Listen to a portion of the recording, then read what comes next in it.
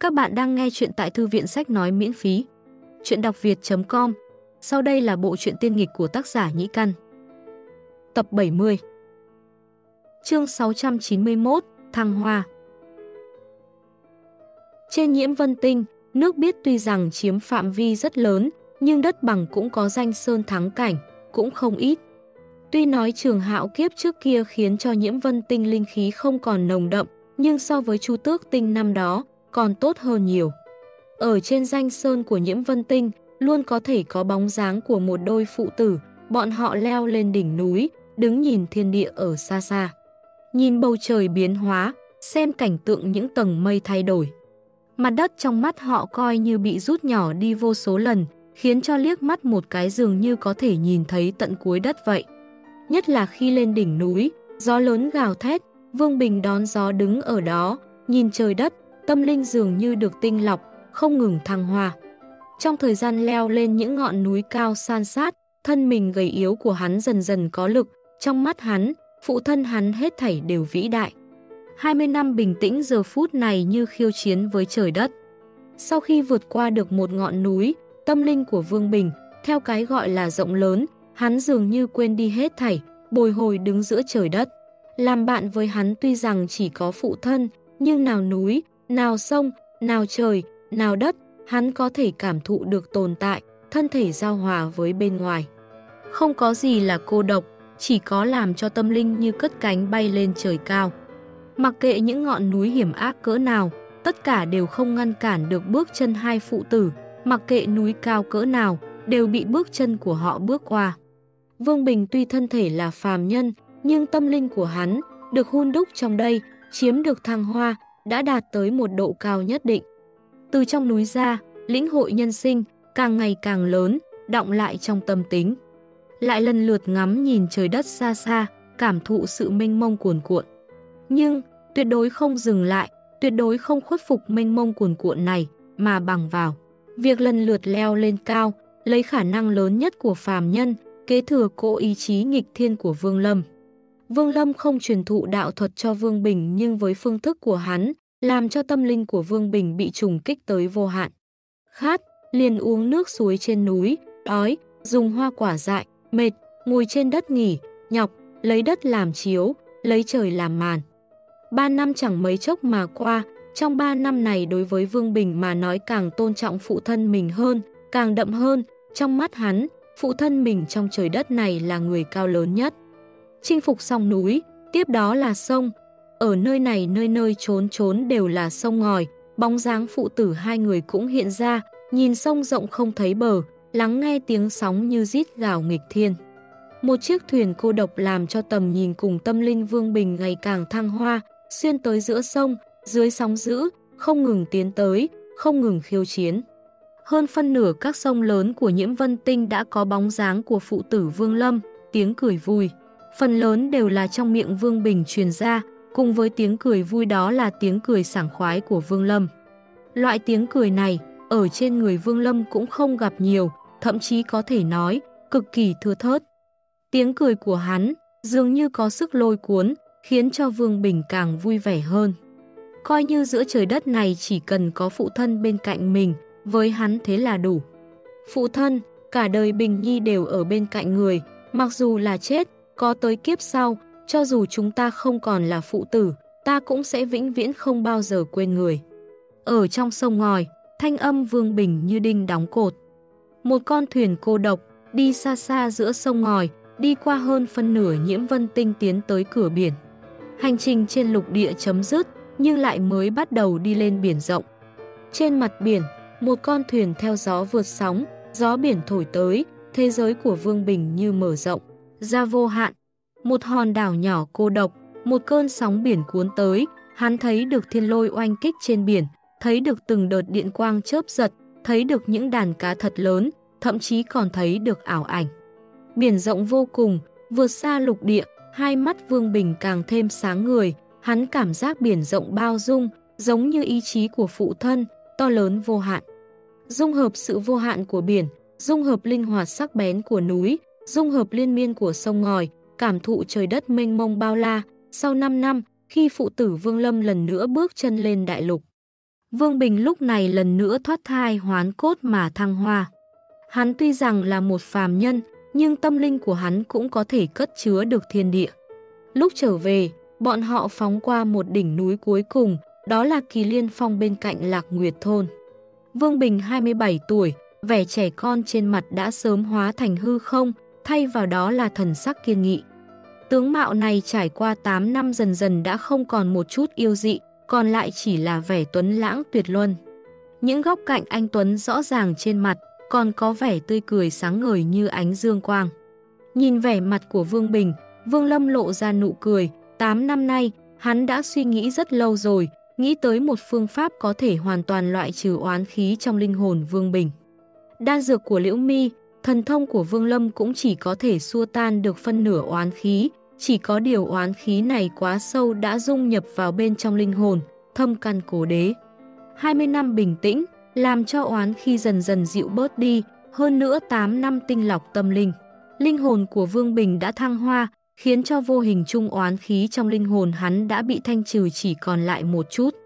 Một chút này cũng không pháp thuật gì, đan dược gì có thể khu trừ được, chỉ có thể trong luân hồi với hủy diệt được nó. Xuống dưới kỳ liên phong, vương, Lâm nhìn sơn thôn xa xa, hạ giọng nói, không đi xem sao. Vương Bình ở bên cạnh hắn lắc đầu nói, không đi. Vương Lâm không nói tiếp, mà là đi tới ngọn núi. Vương Bình đuổi theo phía sau, theo bước phụ thân cười nói, phụ thân, con nhớ rõ trước đây từng nghe người ta nói, trên kỳ liên phong này có tiên vụ. Uống một ngụm có thể 10 năm không sinh bệnh, khi đó ta nghĩ muốn rồi, không biết khi nào mới có thể, phụ thân có thể mang con tới nơi này không? Vương Lâm mỉm cười, hòa ái nhìn qua Vương Bình. Kỳ liên sơn cao lớn này, dần dần bị hai phụ tử đi lên tới đỉnh, tại đỉnh ngọn núi, có vô số tầng mây bay, giống như đạp mây mù vậy. Vương Bình thở sâu, nhìn về phía phụ thân, hắn đã nhìn đúng, kỳ liên sơn này tuy nói to lớn, nhưng so với phụ thân mình bất quá chỉ tới thắt lưng của phụ thân mà thôi. Tầng mây xa xa, có chút âm u, từng trận điện quang chớp lóe, khi thì tiếng ấm đánh ầm ầm truyền tới, uy lực của trời đất, hấp dẫn ánh mắt Vương Bình. Không bao lâu, tiếng sấm dần dần lớn lên, mưa gió thổi tới, mưa chậm rãi phủ khắp mặt đất, u ám tràn ngập, mưa dần dần nặng hạt. Trên mặt đất, do lâu rồi không có mưa, bụi đất được gió thổi lên tư tán, chỉ có điều chưa kịp bay bao xa thì bị mưa dồn dập thẩm thấu, dung nhập trong giọt mưa trở về với mặt đất.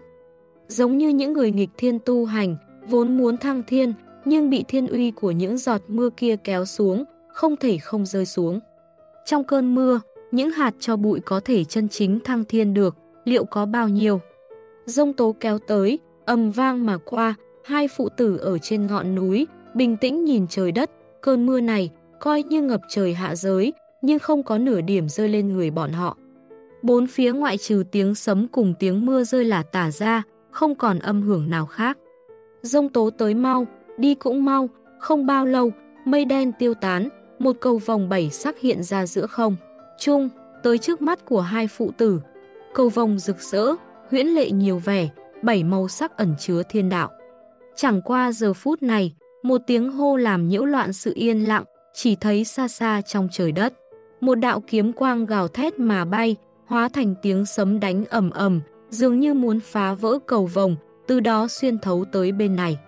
Trong kiếm quang là một người đàn ông trung niên, người này tiên phong đạo cốt, một thân tràn ngập tiên khí, dưới chân một thanh phi kiếm màu xanh, tản mát ra trận trận hàn quang. Hắn gào thét lao qua, liếc mắt nhìn thấy phụ tử Vương Lâm đứng trên đỉnh Kỳ Liên Phong, cũng giật mình kêu nhẹ một tiếng. Phàm nhân có thể leo lên tới nơi này, tuyệt không tầm thường, tất nhiên là có thêm nghị lực thật lớn. Người này trong mắt lộ ra vẻ tán thưởng, nhưng không có dừng lại, mà là phóng qua ngọn núi, bay thẳng tới xa xa. Vương Bình kinh ngạc nhìn người đàn ông trung niên biến mất ở chân trời, đây là lần đầu tiên trong cuộc đời hắn nhìn thấy một cảnh tượng như vậy.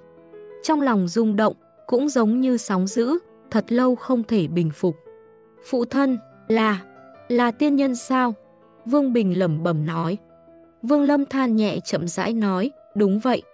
Vương Bình trầm mặc hồi lâu, hắn ngẩng đầu, nhìn phụ thân mình, ánh mắt hiện ra ánh sáng chói ngời, hạ giọng nói, phụ thân, thật sự không thể để cho con tu đạo sao. Vương Lâm ánh mắt dừng ở ánh cầu vồng dần dần tan biến trên trời, ở sâu trong mắt lộ ra một tia bi thương, không nói gì, chỉ chậm chậm lắc đầu. Vương Bình không nói lại, mà chỉ kinh ngạc nhìn trung niên tu sĩ biến mất ở xa xa. Xuống dưới kỳ liên phong, dọc một đường đi Vương Bình thủy trung trầm mặc, đi trên sơn đạo, mãi tới khi tới thôn trấn phụ cận, ngồi trên xe ngựa, Vương Bình vẫn như cũ không nói một câu. Các bạn đang nghe chuyện tiên nghịch của tác giả Nhĩ Căn tại Thư viện Sách Nói miễn phí, chuyện đọc việt.com Chương 692, Thanh Nghi Ngoại trừ phu xe ra, trên xe ngựa chỉ có phụ tử Vương Lâm, ánh mắt của Vương Lâm nhìn ra bên ngoài xe, trong mắt vẻ bi ai ngày càng đậm, trong đó còn một chút chua xót khôn kể. Bên trong xe ngựa một mảnh im lặng, hồi lâu, Vương Bình nhỏ giọng nói, phụ thân, con muốn tu đạo. Đây là lần thứ hai, hắn nói muốn tu đạo. Lần đầu tiên là 10 năm trước, năm đó, hắn 17 tuổi. Vương Lâm không thu hồi ánh mắt, vẫn như cũ nhìn ra ngoài cửa sổ, bình tĩnh nói, ngươi không thích hợp tu đạo. Phụ thân, vì sao? Vương Bình nhìn mặt bên phụ thân, không cam lòng hỏi. Vương Lâm quay đầu, vẫn như 10 năm trước, không nói gì, chỉ bình tĩnh nhìn Vương Bình, lẳng lặng nhìn. Thanh âm bánh xe đè lên đường bên ngoài chậm rãi truyền tới, thời gian trôi qua, cuối cùng Vương Bình cúi đầu, hạ giọng nói, con biết rồi, phụ thân. Vương Lâm thu hồi ánh mắt, bi ai trong mắt Vương Bình không nhìn thấy. Không ai biết, nguyên nhân chân chính hắn không cho Vương Bình tu đạo, Tôn Thái không biết, Vương Bình cũng không biết. Chỉ có bản thân Vương Lâm mới hiểu được hết thảy căn bản. Hắn không thể nói với Vương Bình, vì Vương Bình, hắn không thể nói. Hết thảy chuyện này, cái chết của Liễu Mi không liên can. Trong lòng thở dài, Vương Bình cũng không thể nghe thấy. Ánh mắt dừng ở đồng quê ngoài cửa xe, Vương Lâm trầm mặc. Bên trong xe ngựa, Vương Bình cũng vậy, phụ tử trầm mặc, dần dần càng đậm. Hồi lâu, Vương Bình quay đầu, nhìn phụ thân mình, nhìn sang bên, nếp nhăn trên mặt phụ thân ngày càng nhiều, trong lòng hắn cảm thấy không đành lòng, hạ giọng nói, cha, con sai lầm rồi. Vương Lâm xoay người cười cười hòa ái, không nói gì. Kỳ Thủy Thành là một trong những phó đô của Đại Tần Quốc trong ba đại đế quốc của Nhiễm Vân Tinh, phồn hoa gần với kinh đô, hơn nữa gần sông ngòi, khiến cho thành này cực kỳ náo nhiệt. Xe ngựa vào trong thành, dừng chân ở trạm nghỉ, hai phụ tử Vương Lâm xuống xe, đi tới thành trì phồn hoa này. Thành lớn náo nhiệt như thế là việc trước đây Vương. Bình chưa từng thấy, hắn nhìn bốn phía, hoàn toàn quên đi mọi chuyện không vui trước đây. Thành Đông có một tử quán hoa lệ, Vương Lâm cất bước đi vào, tiểu nhị tử lâu bước tới phía trước, khuôn mặt tươi cười đón chào. Mang theo phụ tử hai người vào đại sảnh ngồi xuống một góc phòng, không bao lâu sau, rượu và thức ăn được bưng lên. Bởi vì tướng mạo của Vương Bình quá mức anh Tuấn, hắn ngồi vào chỗ, lập tức hấp dẫn ánh mắt của rất nhiều nữ nhân trong đại sảnh. Đối với việc này, thời niên thiếu Vương Bình ở trong thôn đã sớm quen thuộc rồi. Vương Lâm không hề động đũa, mà cầm lấy rượu, uống một ngụm, thân sắc bình tĩnh, về phần Vương Bình cũng chỉ nhìn lướt qua. Từ nay về sau, chúng ta sống ở đây, chút nữa đi mua một tòa nhà. Vương Lâm buông chén rượu, bình thản nói.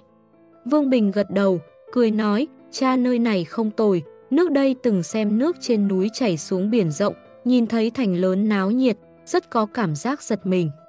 Vương Bình vừa nói, bàn bên cạnh truyền tới một tiếng cười nhạo. Bàn bên cạnh có ba người, một lão nhân mặc cẩm y, bộ dạng có chút uy nghiêm, hai mắt tuy nói hơi lờ mờ, nhưng toàn thân lại phát ra một cỗ khí phách mạnh mẽ. Ngồi bên cạnh lão là hai người, một nam một nữ, nam nhân kia anh Tuấn bất phàm, diện mạo hiên ngang.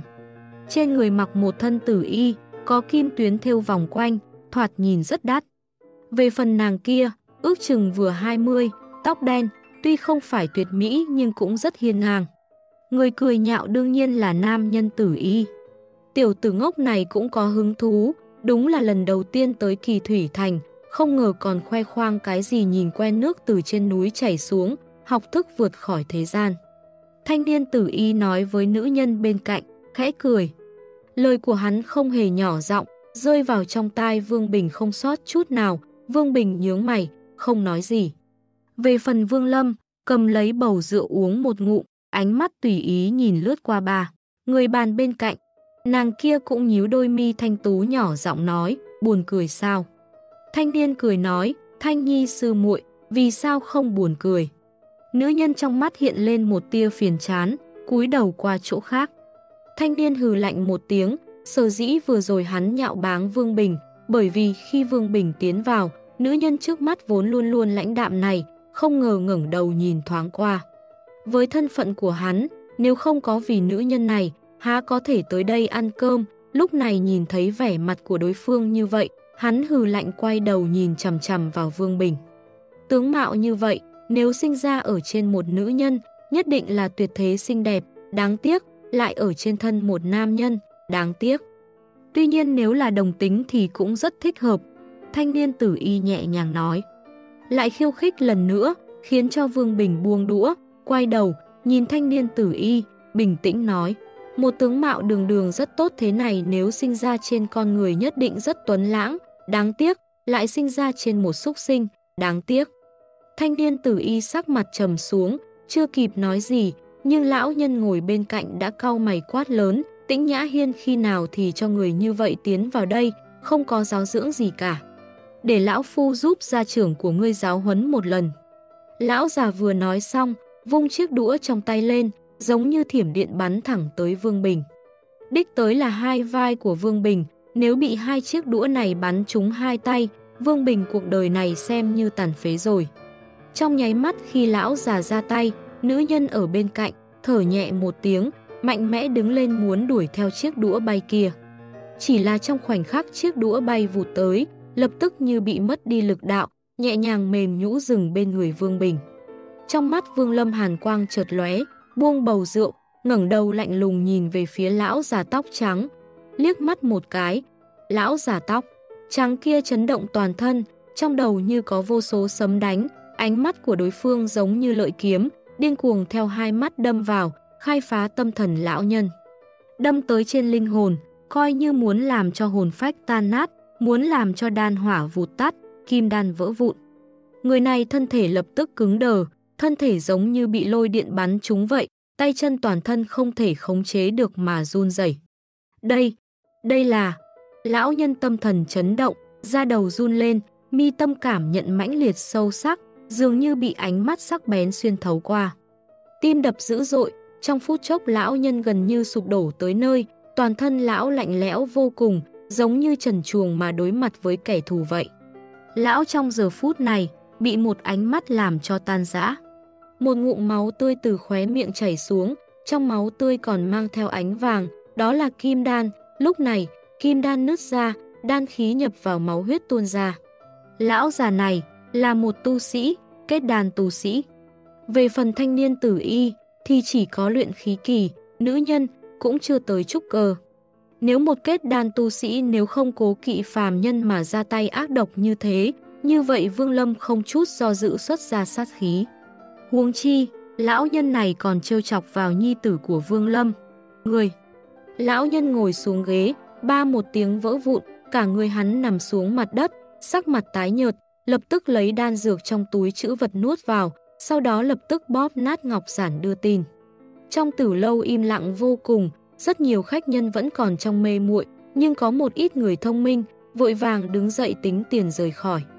Thanh niên tử ý hoàn toàn giật mình tại chỗ, hắn cũng không liếc mắt nhìn lão nhân một cái, ánh mắt cực kỳ âm trầm, nhìn chằm chằm vào hai người phụ tử Vương Lâm. Về phần nàng kia, thân sắc biến đổi, ngơ ngác nhìn Vương Bình và Vương Lâm, dường như không thể nào nghĩ được kết quả lại biến. Hoa thế này, nhi tử của Vương Lâm ta, không cần tới ngươi giáo huấn. Vương Lâm thu hồi ánh mắt, cầm lấy bầu rượu, uống một ngụ. Các bạn đang nghe chuyện tiên nghịch của tác giả Nhĩ Căn tại Thư viện Sách Nói miễn phí, chuyện đọc việt.com Chương 693, chỉ một lần thôi. Lão nhân không dám mở miệng, hắn đang dùng dược hoàn ổn định đan khí, nếu như mở miệng, sợ là đan khí sẽ lập tức tràn ra ngoài, tới lúc đó mặc dù hắn không chết tu vi cũng sẽ đại giảm. Lúc này, hắn nuốt vội toàn bộ dược hoàn vào người, không ngừng tụ lại đan khí, chẳng qua, hiệu quả cũng thật thấp. Từng đạo linh khí tràn ra bên ngoài, như sương mù. Thanh niên tử y kia nhìn chầm chầm vào Vương Lâm, gật đầu nói, không nghĩ tới ngươi cũng là một tu sĩ, hay lắm, tại nhiễm vân tinh ngươi đắc tội với tôn gia, tương đương với. Không chờ hắn nói hết, Vương Lâm vung tay phải lên, thanh niên kia thân hình lập tức chấn động, sắc mặt tái nhợt, ngã xuống mặt đất. Vương Lâm vẫn không giết hắn, người này chưa có nhiều linh khí lắm, gần thuộc về phàm nhân rồi. Lấy lịch duyệt của Vương Lâm, tự nhiên nhìn ra, thanh niên tử y này nếu không phải là tộc nhân của dòng tộc tu sĩ Đại Thần Thông, thì nhất định là có thân phận quyền quý trong phàm nhân. Về phần lão nhân kết đan kia và nữ nhân thanh nghi, hiển nhiên là thầy trò. Chẳng qua bất kể những người này có thân phận gì, Vương Lâm đều sẽ không tha bọn chúng. Ở nhiễm vân tinh này, hắn là lão tổ trí tôn. Cảnh tượng trước mắt khiến cho Vương Bình thở sâu, nhìn phụ thân mình. Trong giờ phút này bỗng nhiên hắn phát hiện, dường như phụ thân mình. Cũng không phải là một tu sĩ bình thường, một cái ánh mắt thế nhưng khiến cho lão nhân kia bị như thế, hiển nhiên là không đơn giản. Thanh Hy ở bên cạnh kinh ngạc nhìn phụ tử Vương Lâm, do dự một chút, nàng tiến lên hai bước, cung kính nói, tiền bối việc này chúng ta lỗ mãng. Vương Lâm cầm lấy bầu rượu uống một ngụm, vẫn không nhìn. Đối phương, Thanh Nghi cắn môi dưới, tiến thoái lưỡng nan, khóe miệng Vương Bình nở nụ cười mỉm, hắn nguyên rất tuấn lãng. Giờ phút này khi cười, lại thấy anh Tuấn bất phàm, nhìn Thanh Nghi, Vương Bình nói, cô nương phương danh kêu Thanh Nghi sao? Tại hạ là Vương Bình, cô nương cũng là tu sĩ phải không? Vương Bình nở nụ cười, khiến cho Thanh Nghi đỏ mặt, hạ giọng nói, đúng vậy, tuy nhiên sư tôn đã nói, nếu chưa tới trúc cơ, không thể coi mình là tu sĩ được. Ngươi kêu Vương Bình sao? Sự tình ngày hôm nay là chúng ta sai, chỉ có điều. Các người rời khỏi đây nhanh một chút, vừa rồi. Sư tôn đã bóp nát ngọc giản đưa tin, sợ là không lâu nữa sẽ có người tới đây ngay. Vương Bình khẽ mỉm cười, không để ý tới việc này, cùng Thanh Nghi nói chuyện mà thôi. Đúng lúc này bỗng nhiên ngoài tiểu lâu truyền tới từng tiếng gào thét, cùng lúc đó một cơn gió thổi tới, ba lão nhân chạy tới, bỗng nhiên, giẫm chân tại chỗ đi vào trong tử lâu. Tôn sư tổ, Thanh Nghi vội vàng cung kính, một người ở chính giữa ba người này tóc trắng xóa hai mắt như điện, không giận mà uy. Sau khi hắn tiến vào tử lâu, ánh mắt đảo qua mặt đất nơi tu sĩ kết đan kỳ đang khoanh chân ngồi xuống, ánh mắt sau khi thu hồi lại, nhìn về phía phụ tử Vương Lâm. Trong mắt hắn Vương Lâm chẳng qua chỉ là phàm phu tục tử nửa điểm linh lực cũng không có. Nhưng thật ra cái người trẻ tuổi ngồi đối diện lại khiến cho ánh mắt lão nhân ngưng trọng, nhìn kỹ vài lần, trong mắt lộ vẻ kỳ dị. Kẻ này thiên tư tuyệt hảo, mặc dù phàm thai tục cốt, nhưng trong linh hồn quả thực thiên địa sung đầy. Mênh mông cuồn cuộn, loại tâm tính này mà tu hành, cho dù là tu sĩ cũng rất ít người có thể làm được tới trình độ như vậy. Hai người này không phải đơn giản như bên ngoài. Lúc này kết đan kỳ tu sĩ đang ngồi khoanh chân dưới đất, dường như đã nhận ra lão nhân tới, dương mắt, đan khí không giữ được lại phát tiết ra ngoài, hắn kêu thảm một tiếng, toàn. Thân xuất hiện thật nhiều sương mù, sắc mặt đen tái nhợt đi, gấp giọng nói, tộc thúc, là hắn hại ta, cứu ta. Hắn chỉ thẳng vào vương lâm. Lão nhân bấm tay phải niệm thần chú, một đạo linh quyết bay ra, giống như thiểm điện bắn thẳng vào mi tâm lão nhân, ấn quyết này mới dừng ở mi tâm. Lập tức nhanh chóng kéo dài, hình thành một tấm lưới, gắt gao bao lấy bên ngoài đan khí của kết đan kỳ tu sĩ, tạm thời khóa lại. Làm xong việc này, hắn âm thầm quay sang Vương Lâm nói, các hạ ra tay tàn nhẫn như thế, hay là khinh tôn gia ta không có người phải không? Vương Lâm không nhìn đối phương, buông bình rượu thản nhiên nói, Bình Nhi, đi thôi. Nói xong hắn đứng lên, đi ra bên ngoài tiểu lâu. Vương Bình khẽ mỉm cười với Thanh Nghi, nụ cười này rơi vào trong mắt Thanh Nghi khiến cho nàng mặt đỏ như mây chiều, vội vã cúi đầu. Vương Bình đối với cô gái tên Thanh Nghi này rất có thiện cảm, thiện cảm này tới từ lúc sư phụ cô gái này ra tay, cô gái đã có ý đồ ngăn cản. Sau khi đứng dậy, Vương Bình đi theo sau phụ thân, đi ra bên ngoài. Lão nhân hừ lạnh một tiếng, bước tới trước ngăn trở, hai lão nhân phía sau cũng làm như vậy. Nói rõ ràng mọi việc rồi đi cũng không muộn. Ánh mắt Vương Lâm bình thản, đi về phía trước một bước, bước này thoạt nhìn như đơn giản, nhưng lại như có tiếng sấm đánh ầm ầm trên tâm thần của ba lão nhân, coi như một bước cũng không đạp lên mặt đất mà dường như đạp lên tâm thần ba người. Hai lão nhân phía sau, Tu Vi chỉ có Nguyên An Trung Kỳ, lúc này sắc mặt cũng đại biến, linh lực vận chuyển, lùi về sau mấy bước theo bản năng. Đây không phải là đạo Pháp, cũng không phải là thần thông, thậm chí trên người Vương Lâm một chút linh lực cũng không có xuất hiện. Nhưng ba lão nhân này xem ra, cái này còn vượt xa xa so với bất kỳ loại thần thông pháp thuật nào họ từng gặp. Đây là một loại khí thế chỉ có khi đạt tới trình độ nhất đại. Tông sư mới có thể hiển lộ ra, mà người có thể cầm giữ khí thế như vậy liền giống như mang cả thiên địa, lấy sức mạnh của thiên địa làm khí thế cho mình. Đừng nói là ba lão nhân này, mặc dù là ba vấn đỉnh tu sĩ bình thường, cũng không thể chống cự được. Lão nhân tu vi cao nhất ở đây mới đạt tới Nguyên Anh kỳ viên mãn, đang trong quá trình cảm ngộ thiên đạo, nửa chân đã tiến nhập vào hóa thần. Khí thế của Vương Lâm hắn bị khắc sâu hơn ai hết, gần như bị một bước của đối phương va chạm vào linh hồn mình vậy, mặt tái nhợt, lui ra sau hai bước. Vương Lâm đi qua bên người hắn, ra ngoài tiểu lâu. Vương Bình đi theo sau, vừa đi ra ngoài hắn quay đầu lại nhìn thoáng qua Thanh Nghi, lại hiện ra nụ cười dịu dàng. Thanh y mặt đỏ càng thêm đỏ. Chỉ một lần này, chỉ một lần thôi. Thanh âm của Vương Lâm từ ngoài tiểu lâu truyền vào, dừng ở trong tai tu sĩ tôn ra, mãi tới hồi lâu, bọn họ mới khôi phục lại, trong mắt hiện ra kinh hãi nồng đậm. Ra khỏi tiểu lâu, Vương Bình do dự một chút, đuổi kịp bước chân phụ thân, cười nói, cha, người có quen với tôn gia. Từng có một chút uyên nguyên, phụ thân đã từng đáp ứng, che chở cho tộc đó 100 năm bình an. Vương Lâm đối với Vương Bình không có dấu dếm, ngoại trừ nguyên nhân không thể tu đạo ra. Cô gái tên Thanh Nghi kia, không tồi. Vương Lâm mỉm cười nhìn vào mắt Vương Bình. Vương Bình giật mình, trên khuôn mặt tuấn tú đỏ lên hiếm thấy.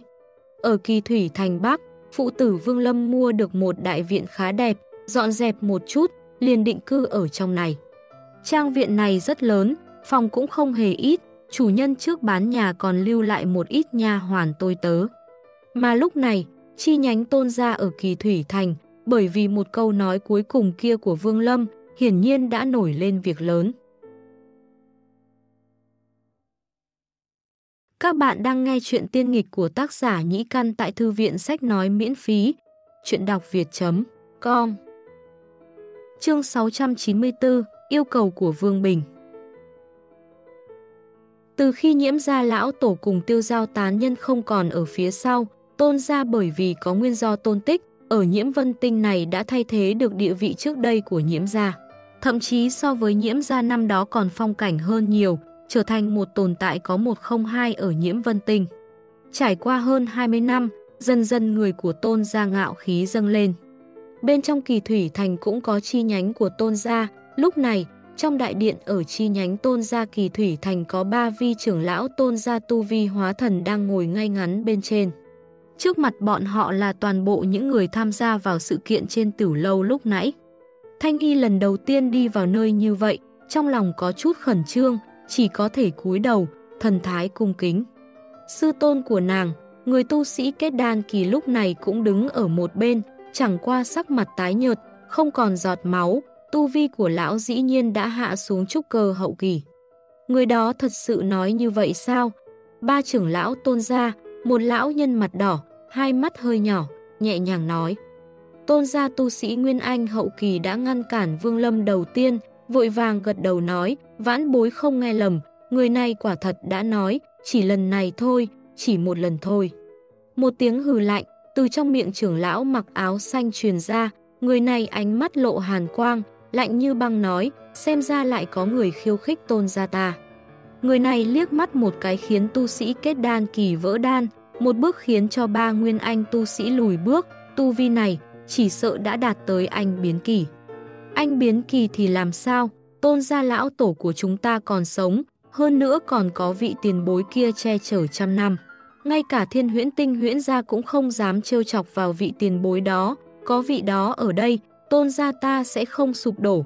Người cuối cùng trong ba, trưởng lão, bình thản nói, người này, họ gì? Trưởng lão mặt đỏ, lần thứ hai mở miệng. Tu sĩ phía dưới trầm mặc hồi lâu, vị lão nhân Nguyên Anh hậu kỳ cười khổ nói, việc này ta cũng không biết, tuy nhiên ta thấy có tộc nhân khác có nói chuyện với bọn họ, có lẽ nàng ta sẽ biết. Lão nhân mặt đỏ ánh mắt dừng ở trên người Thanh Nghi. Ngươi biết sao? Thanh Y thân mình run lên, trầm mặc hồi lâu, lắc đầu nói, vãn bối không biết. Thật to gan. Lão nhân mặt đỏ ánh mắt ngưng trọng, với lịch duyệt của hắn, tự nhiên liếc một cái liền biết nữ nhân này đang nói dối. Thanh y chua xót cúi đầu, hạ giọng nói, vãn bối thật sự không biết. Lão nhân mặt đỏ hừ lạnh một tiếng đứng dậy nói, việc này trước tiên kết thúc ở đây, ta đã bẩm báo với dòng họ. Sẽ có tu sĩ anh biến kỳ của gia tộc tới trong thời gian ngắn nhất, về phần các tộc nhân khác, nếu trong lòng có hai ý, đuổi ra khỏi tôn gia. Lão nói rồi đảo mắt nhìn quanh, người này rốt cuộc dựa vào cái gì, chỉ một lần thôi, nói lời cuồng vọng như thế. Ở nhiễm vân tinh, không ai có thể nói như vậy với tôn gia.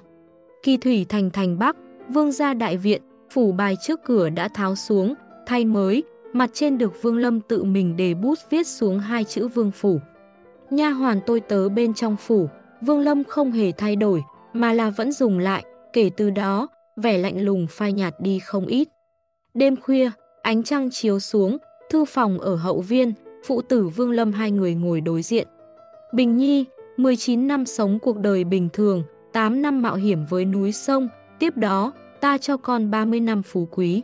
Con người khi còn sống, hỉ nộ ái ố, con phải được biết toàn bộ, phú quý bần hàn cũng như vậy. Vương Lâm nhẹ nhàng nói. Vương Bình trầm mặc, hồi lâu khẽ mỉm cười, trong mắt sáng người, nói, cha, đó là bồi thường việc cha không cho con tu đạo sao. Vương Lâm nhìn Vương Bình chậm rãi nói, đúng vậy. Ánh mắt của hắn, lướt, nhìn ra xa xa qua cửa sổ đằng sau Vương Bình, nhìn tới một nơi không tới được, dâng lên một chút bi ai.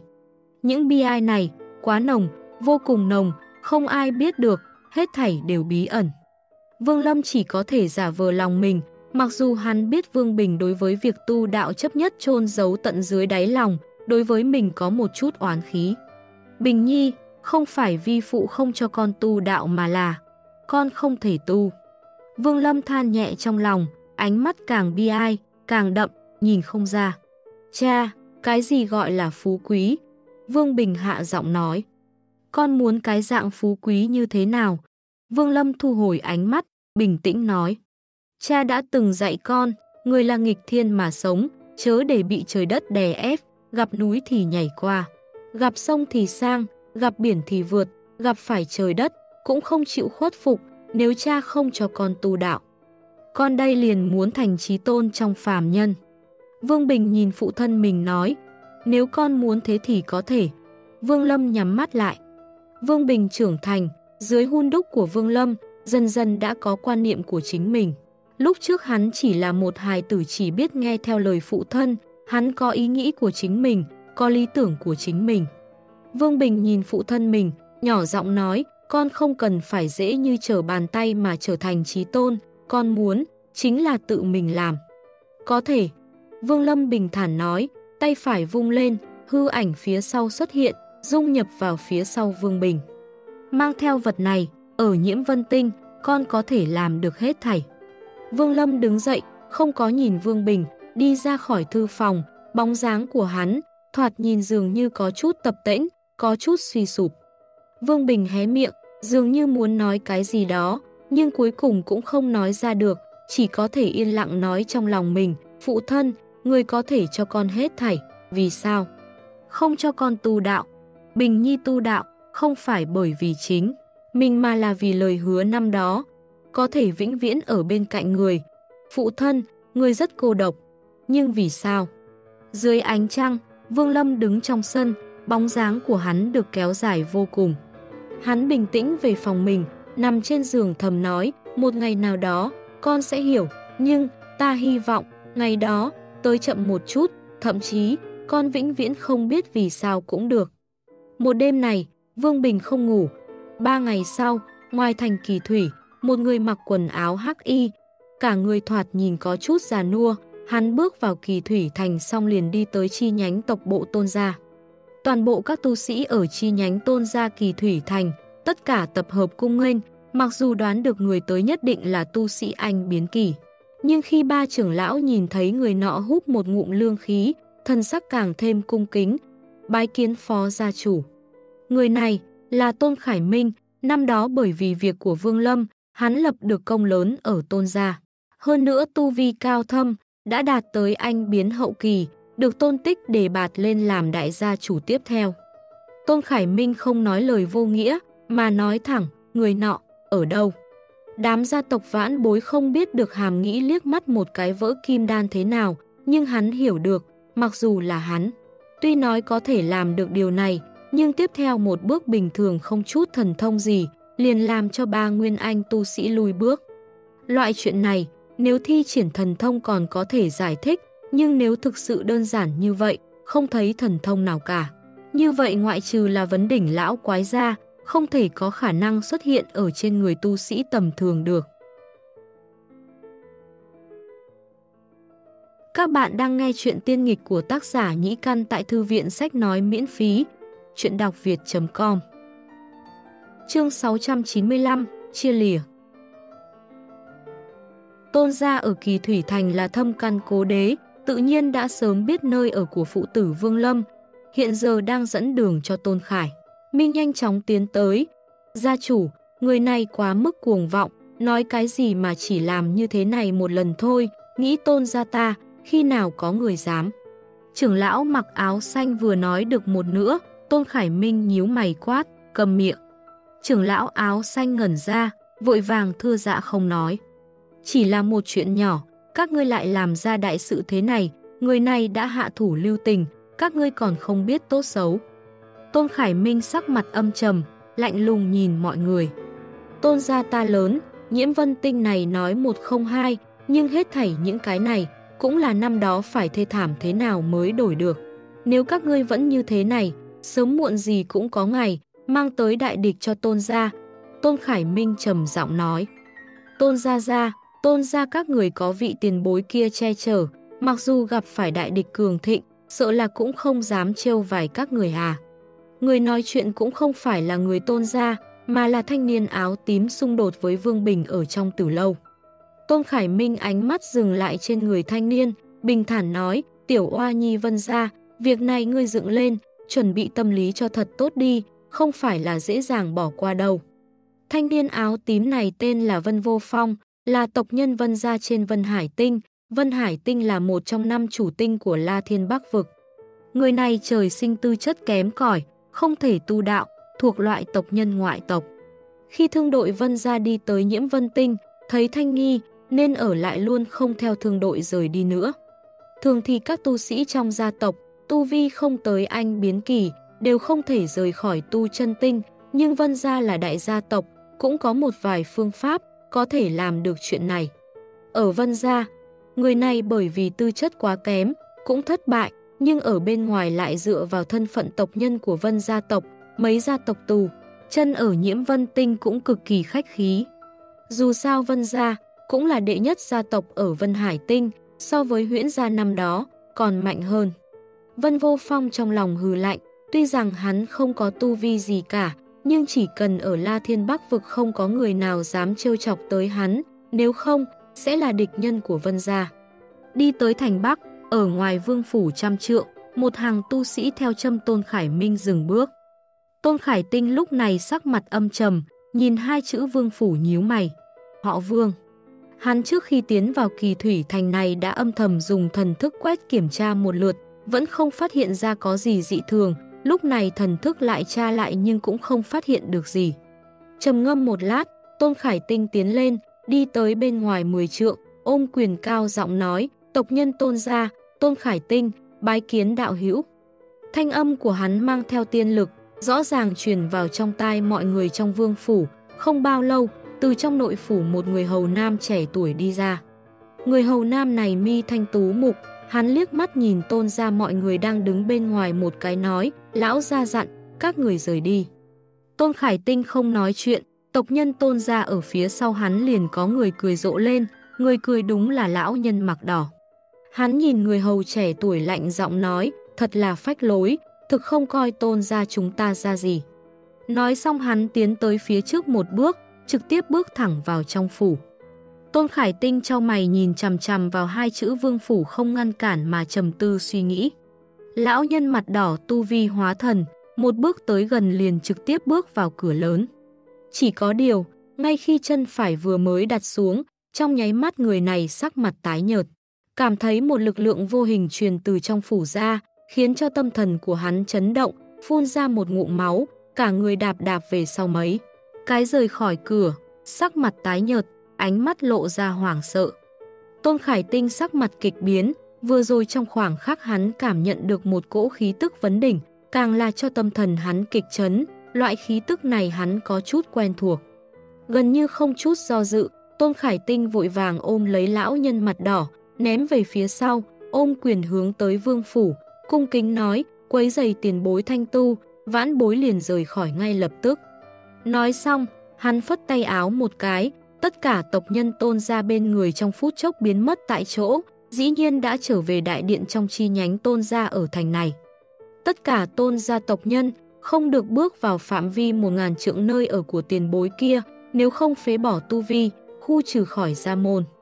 Tôn Khải Tinh mãi cho tới lúc này trong lòng vẫn còn kinh hoàng, chán mơ hồ đổ ra mồ hôi lạnh. Cũng chỉ có tiền bối ấy mới có tu vi liếc một cái liền vỡ kim đan à. Tôn Khải Tinh thở sâu. Tộc nhân tôn gia ở nơi đây chưa bao giờ thấy Tôn Khải Tinh có vẻ mặt như vậy. Hơn nữa lúc trước Tôn Khải Tinh còn vội vã chạy khỏi, trong lòng không khỏi chấn động. Trưởng lão áo xanh bên trong ba trưởng lão, nhìn thoáng qua lão nhân mặt đỏ nguyên thần gần như sụp đổ tới nơi kia, trong lòng run lên vì sợ hãi nói, gia chủ, người. Người đó là ai?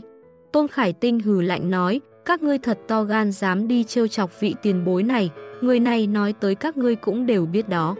Đó là người mà lão tổ gặp được cũng phải tôn kính, nếu không có người này, tôn gia ta quả quyết không có ngày hôm nay. Chẳng lẽ, chẳng lẽ người này là... Lão nhân áo xanh ngẩn ra, trong lòng bỗng nhiên nhớ tới một nhân vật. Tôn Khải Tinh liếc mắt nhìn đối phương, gật đầu một cái. Trong nháy mắt, tộc nhân tôn gia ở đây toàn bộ sắc mặt tái nhợt. Chỉ một lần này, chỉ một lần thôi, những lời này hiện lên trong lòng bọn họ. Ngay cả thanh niên áo tím kia lúc này cũng cảm thấy một chút, liên tưởng lại, sắc mặt trở nên cực kỳ khó coi.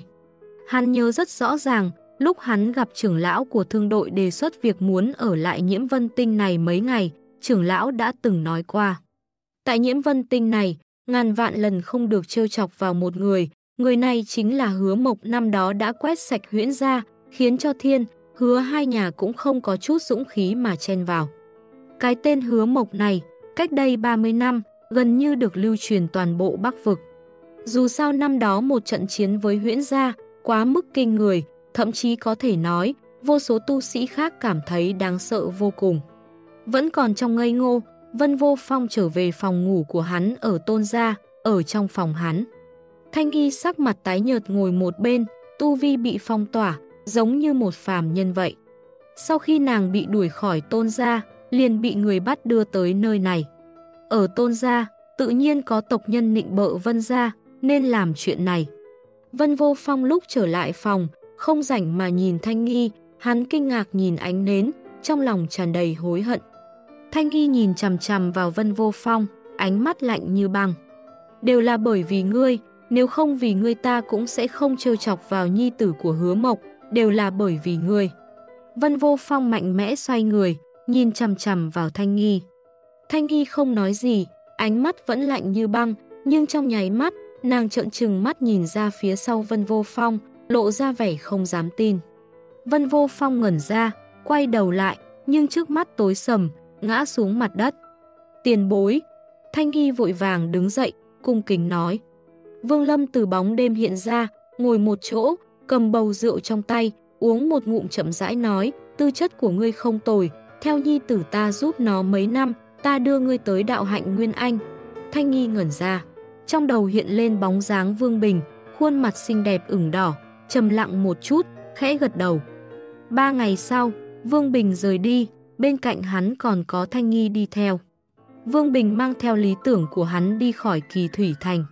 Hắn không cam lòng bình thản một đời, hắn muốn chính là sự phấn khích. Vương Lâm một mình lưu tại nơi này, đêm hôm Vương Bình rời đi, Hắn uống rất nhiều rượu, với tu vi của hắn vốn không thể say, nhưng đêm nay hắn đã say. Đây là lần đầu sau 800 năm hắn say. Vẻ mặt của hắn, lần đầu tiền không có pháp thuật thi triển mà trở nên càng thêm già nua. Cuộc sống, vẫn như trước, thời gian chậm rãi trôi qua, chuyển động luân hồi không thể nghịch chuyển, nhoáng một cái, ba năm trôi qua. Trong ba năm này, Vương Bình vẫn bật vô âm tín, Vương Lâm cũng không có dùng thần thức đi tìm kiếm hắn.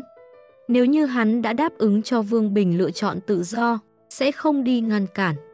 Bắc Bộ Nhiễm Vân Tinh, trong 3 năm này, xuất hiện một giáo phái, phái này tên là Thiên Hành Phái, nó chỉ truyền lưu trong thế giới phàm nhân, không liên quan tới tu sĩ. Thiên hành giáo phái này phát triển cực kỳ lớn mạnh, dần dần lan tràn toàn bộ Bắc Bộ Nhiễm Vân Tinh. Nó giống như lửa theo cỏ khô, thiêu đốt vô cùng, ngày càng vượng. Nghe đồn, thủ lĩnh của thiên hành phái giống như một tiên nhân như tuyết trên trời dần dần rơi xuống vậy. Còn nữa, nghe nói bên người thủ lĩnh này Thủy chung có một nữ nhân. Thời gian như nước qua cầu, trong nháy mắt lại qua 7 năm. Bộ dạng của Vương Lâm ngày càng thêm già nua. Các bạn đang nghe chuyện tiên nghịch của tác giả Nhĩ Căn tại Thư viện Sách Nói miễn phí. Chuyện đọc việt.com Chương 696 5 tháng Thiên hành phái phát triển như một quả cầu tuyết, không ngừng lớn mạnh, thậm chí ngay cả kỳ thủy thành này bên trong cũng có giáo chúng. Mùa thu năm nay, gió thu thổi tới, Vương Lâm đi ra khỏi nhà, giống như bao ngày bình thường khác, vào một tử quán yên.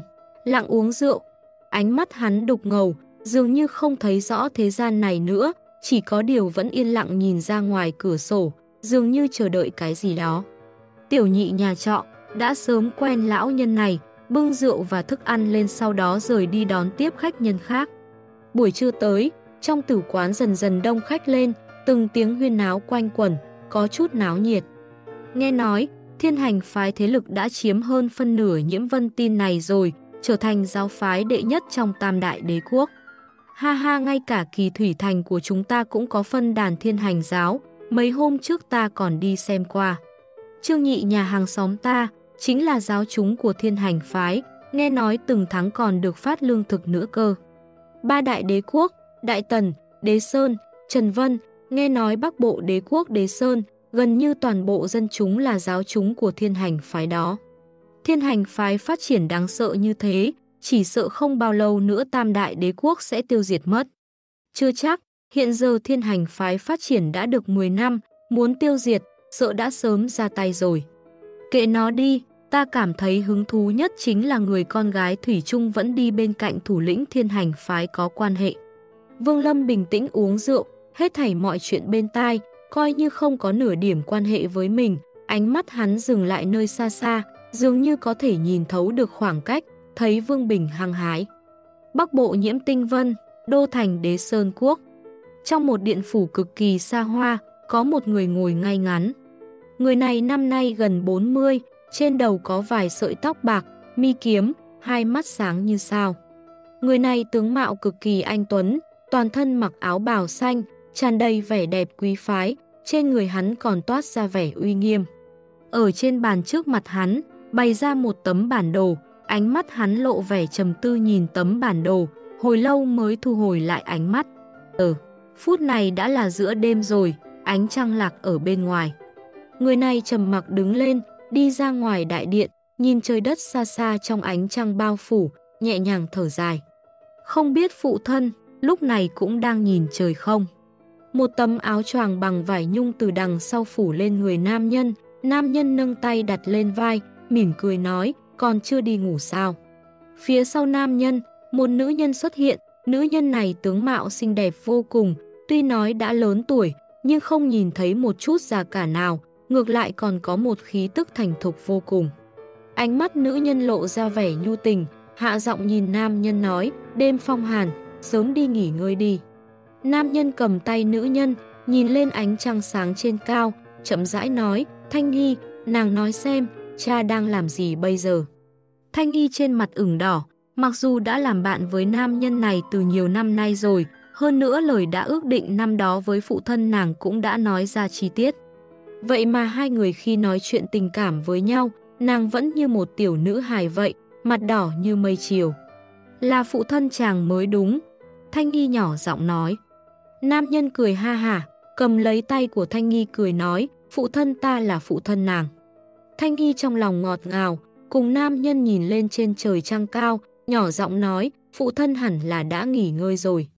Nam nhân ánh mắt lộ ra ánh sáng kỳ lạ, lắc đầu nói, ta có thể cảm giác được, phụ thân, hẳn là đang nhìn ta. Kỳ thủy thành, trong vương phủ, vương lâm thu hồi ánh ánh mắt rừng ở xa xa, ngồi dưới tàng cây trong đại viện. Ngồi nghe gió thu, nghe lá cây gợn lên những thanh âm, khi thì một hai phiến lá cây rơi xuống, thổi qua trước mắt hắn.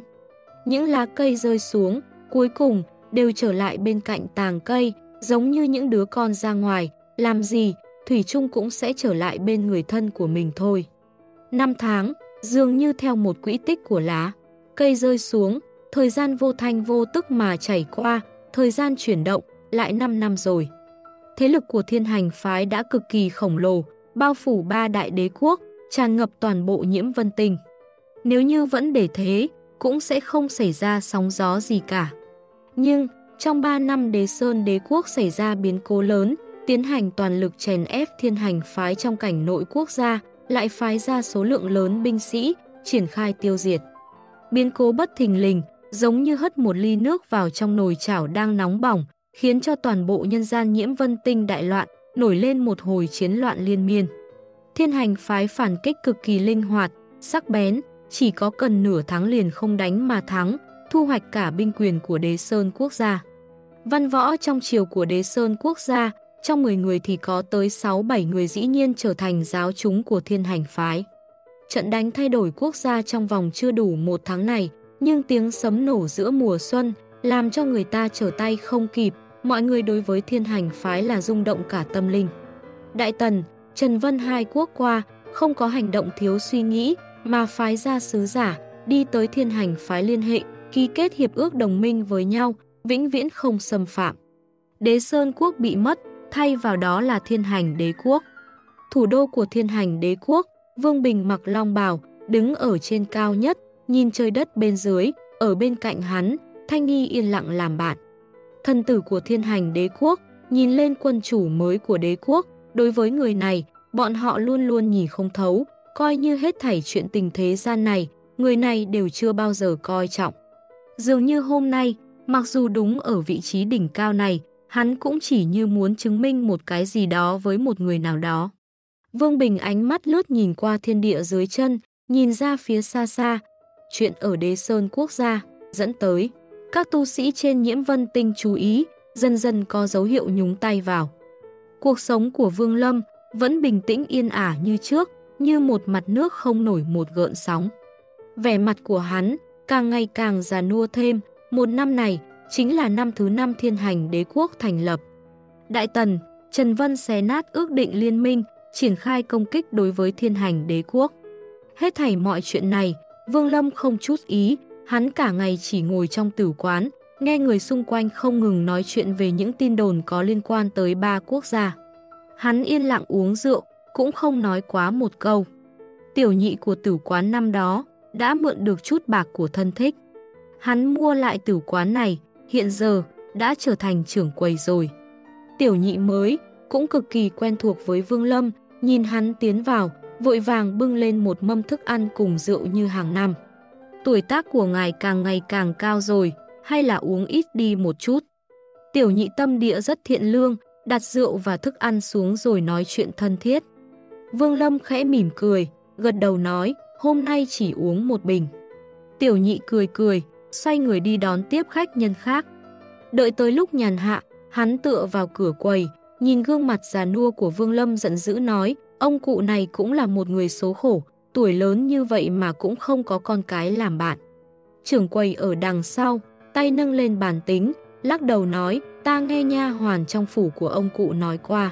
Ông cụ cũng có con trai, chẳng qua đã rời nhà đi rất nhiều năm trước rồi, tới bây giờ cũng chưa có trở về. Vương Lâm cần bầu rượu, uống một ngụ, ánh mắt dừng ở ngoài cửa sổ, chỉ ngồi như vậy, đã qua một ngày rồi.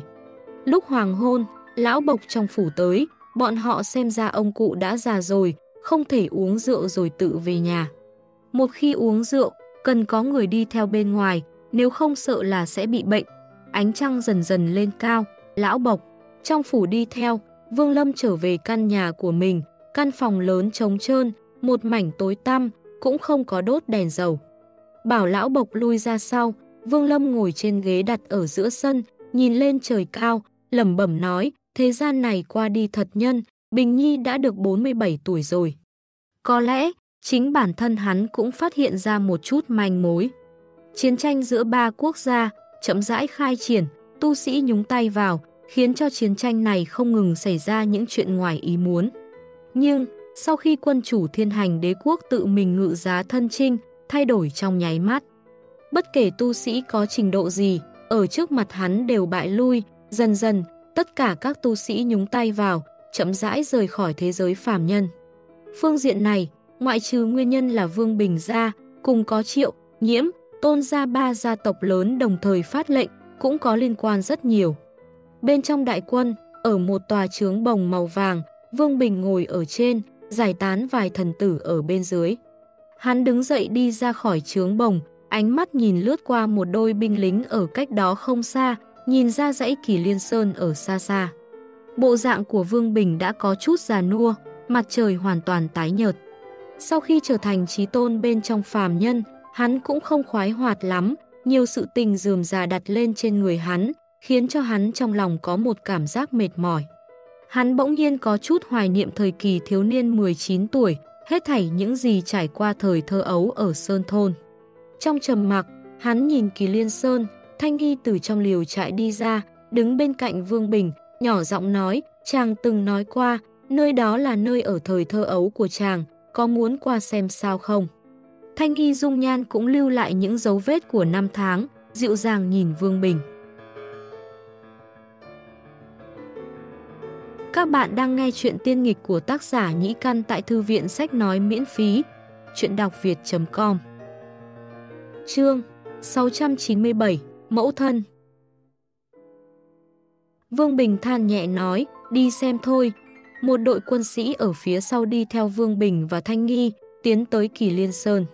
Dọc theo đường đi Vương Bình kinh ngạc nhìn bốn phía, hết thảy trước mắt, làm cho hắn cảm thấy xa lạ, cũng có phần nào đó một cảm giác quen thuộc. Dần dần, hắn thấy được khói bếp ở xa xa, thôn Lạc Nguyệt đã ở xa xa trước mắt. Vừa mới tới gần, vì có binh lính đi theo hàng dài ở sau lưng. Tiếng chó sủa trong thôn vang lên kịch liệt, trong thời đoạn rối ren như thế này, cư dân trong thôn Lạc Nguyệt đều cực kỳ cảnh giác. Lúc này nghe thấy tiếng chó sủa, lập tức bò ra, cầm nông cụ bình thường vẫn dùng để trồng trọt cùng cây đuốc trong tay. Mọi người chạy ra khỏi cửa, nhìn ra cách đó không xa, một đội binh lính mặc giáp lạnh và hai nam nữ thanh niên mặc thường phục. Đối mặt với ánh mắt bất thiện của thôn dân, Vương Bình không nói gì, hắn nhìn những thôn dân này, nhưng cuối cùng cũng không nhân ra một ai. Trên mặt hắn, lộ ra vẻ chua xót năm tháng như một bài ca, nhoáng cái đã qua đi nhiều năm như vậy. Mặc dù có người năm đó mình quen thuộc, nhưng giờ phút này cũng không nhận ra được biến hóa quá lớn. Huống chi, gần 30 năm, không biết bao nhiêu người bước vào luân hồi, không hề quay lại. Tới hậu sơn đi, nơi đó có mộ của tôn gia gia. Thanh y thầm than, cùng Vương Bình lặng lẽ tiến vào, đi tới phía trước. Thôn dân ở trước mặt, cũng hơi do dự, chậm rãi tản ra, tạo thành một thông đạo. Đúng lúc này, một thanh âm nhu nhược mang theo vẻ nghi hoặc nhẹ nhàng truyền tới. Vương Bình, Vương Bình chậm chân một chút, xoay người, ánh mắt dừng lại trong thôn dân. Đó là một phụ nữ trung niên hơn 40 tuổi, bộ dạng phụ nhân này có chút già nua, nhưng trong mắt Vương Bình, hắn thấy được cô gái năm đó đã nói ta hận ngươi với hắn. Giờ phút này, trên tinh không xa xôi, ngoài ánh trắng giảm hóa thành những đám mây màu tía, một bóng dáng, như sao băng xuyên qua thiên không mà tới. Tham lang khụt khịt mũi, ánh mắt lộ ra quang mang kỳ dị. Vừa mới tiến vào La Thiên Bắc Vực, Lão Phu liền trực giác thấy nơi này có bảo bối, theo khi tức mà tới đây. Quả nhiên không có nhìn lầm, bên ngoài tinh cầu này sương mù nồng đậm, hiển nhiên là đem ánh sáng bảo vật che giấu đi. Tuy nhiên xem bộ dạng tinh cầu này, dường như có chút quỷ dị. Tham lang nhìn đám mây tía do dự một chút, chậm rãi bay về phía trước. Hắn cả đời đi tìm bảo vật, đối với những nơi có bảo vật tồn tại, có thể nói là có một loại trực giác đáng sợ. Tiếp cận tới, trong lòng hắn kinh hoàng, nhưng ánh mặt lại lộ ra ánh sáng ngày một sáng ngời. Loại cảm giác này chỉ có lúc lấy được đại đỉnh năm đó mới có, hay là nơi này có bảo vật giống như đại đỉnh năm đó. Tham lang ánh mắt lộ ra hung quang, lúc này đây, cái gì mà vương lâm, cái gì mà phong ấn, hắn đều quên hết thảy rồi. Hắn cắn răng, lập tức một đại đỉnh màu đen bay ra khỏi túi chữ vật, trôi nổi trước mặt người này. Tham lang theo sau nó chậm rãi biến mất trong màn sương mù. Lão Phu muốn nhìn xem, rốt cuộc là bảo vật gì. Tham lang liếm liếm môi. Vương Bình là ca ca sao? Trung niên phụ nhân kia nhỏ giọng nói. Vương Bình tiến lên, đi tới bên cạnh phụ nhân này, nhìn khuôn mặt đã không còn bóng dáng thanh xuân năm xưa, mỉm cười nói, Chu Nhược Đồng. Trung niên phụ nhân cắn môi dưới, kinh ngạc nhìn Vương Bình, hồi lâu mới uyển chuyển hàm xúc cười, nhỏ giọng nói, vừa rồi nhìn thấy ca, ta liền nhận ra rồi. Nhiều năm như vậy, bây giờ mới quay trở lại. Vương Bình nhìn nữ nhân trước mắt, trong lòng có chút cảm khái. Bên cạnh nữ nhân này, còn có một cô bé hơn 10 tuổi, bộ dạng rất giống với Chu Nhược Đồng năm đó. Đây là con của muội sao? Vương Bình hỏi. Phụ nhân gật đầu, quay đầu lại nhìn cô bé nói, kêu thúc thúc đi con, thúc ấy là bạn của mẫu thân hồi nhỏ. Thúc thúc. Cô bé dường như sợ người lạ, đứng ở phía sau mẫu thân nhỏ giọng nói. Lúc này, bên trong thôn dân xung quanh cũng có mấy người mơ hồ nhận ra Vương Bình. Nhưng nhìn những binh lính giáp lạnh đứng bên cạnh, cũng không dám bước ra nhận. Vương Bình nhìn cô bé, mỉm cười nói, cháu tên gì? Cô bé trốn tránh sau mẫu thân, không nói gì, ánh mắt lộ ra vẻ sợ hãi. Vương Bình than nhẹ, ngẩng đầu nói với phụ nhân, ta tới hậu sơn tế bái tôn ra ra. Phụ nhân mỉm cười, nàng Thủy Trung không có nhìn Thanh Nghi bên người Vương Bình mà lôi kéo đưa nhỏ, đứng ở bên cạnh nam nhân của mình. Nam nhân của nàng là một tráng hán, hiển nhiên kế thừa bản lĩnh săn thú của nhạc phụ. Chỉ có điều tráng hán này, nếu Vương Bình nình kỹ, sẽ phát hiện ra cũng không phải quá xa lạ. Vương Bình xoay người, đi tới sau núi, Thanh Y còn lại cúi đầu vuốt ve mái tóc trẻ con, liếc mắt nhìn một cái rồi chạy theo sau Vương Bình. Vương Bình mới đi được nửa bước, cô bé tránh sau mẫu thân lộ ra cái đầu nhỏ, lớn tiếng nói, thúc thúc, ta tên là Hứa Niệm Bình. Niệm Bình, Niệm Bình, Vương Bình hơi trùng chân một chút, thầm than một tiếng, không quay đầu lại, tiếp tục bước đi. Mãi cho tới khi bọn họ đi rất xa, thôn dân tản ra, Tráng Hán đứng bên người phụ nhân thở dài nhỏ giọng nói, tội gì nàng phải. Ca, không cần nói nữa. Chu Nhược Đồng ngẩng đầu, khẽ mỉm cười, nụ cười này của nàng rất xinh đẹp, trong mắt cũng lộ ra thần sắc vui vẻ. Có thể gặp lại được hắn, ta cảm thấy đủ rồi. Mộ tôn thái, không có cỏ dại, hiển nhiên có người thường xuyên chăm sóc. Vương Bình đứng trước mộ, một lúc lâu sau, mới yên lặng rời đi. Thanh Nghi, ta nghĩ, không bao lâu nữa, ta sẽ đi gặp phụ thân. Đã 20 năm rồi, không gặp phụ thân. Vương Bình hạ giọng nói. Thanh Y không nói gì, chỉ lặng lặng đi theo bên người Vương Bình, coi như cả đời này, mặc kệ Vương Bình đi tới nơi nào. Cho dù là Hoàng Tuyền, nàng cũng không rời đi. Chuyện này cũng không phải là vì ước định năm đó, mà là một tình cảm làm bạn suốt đời.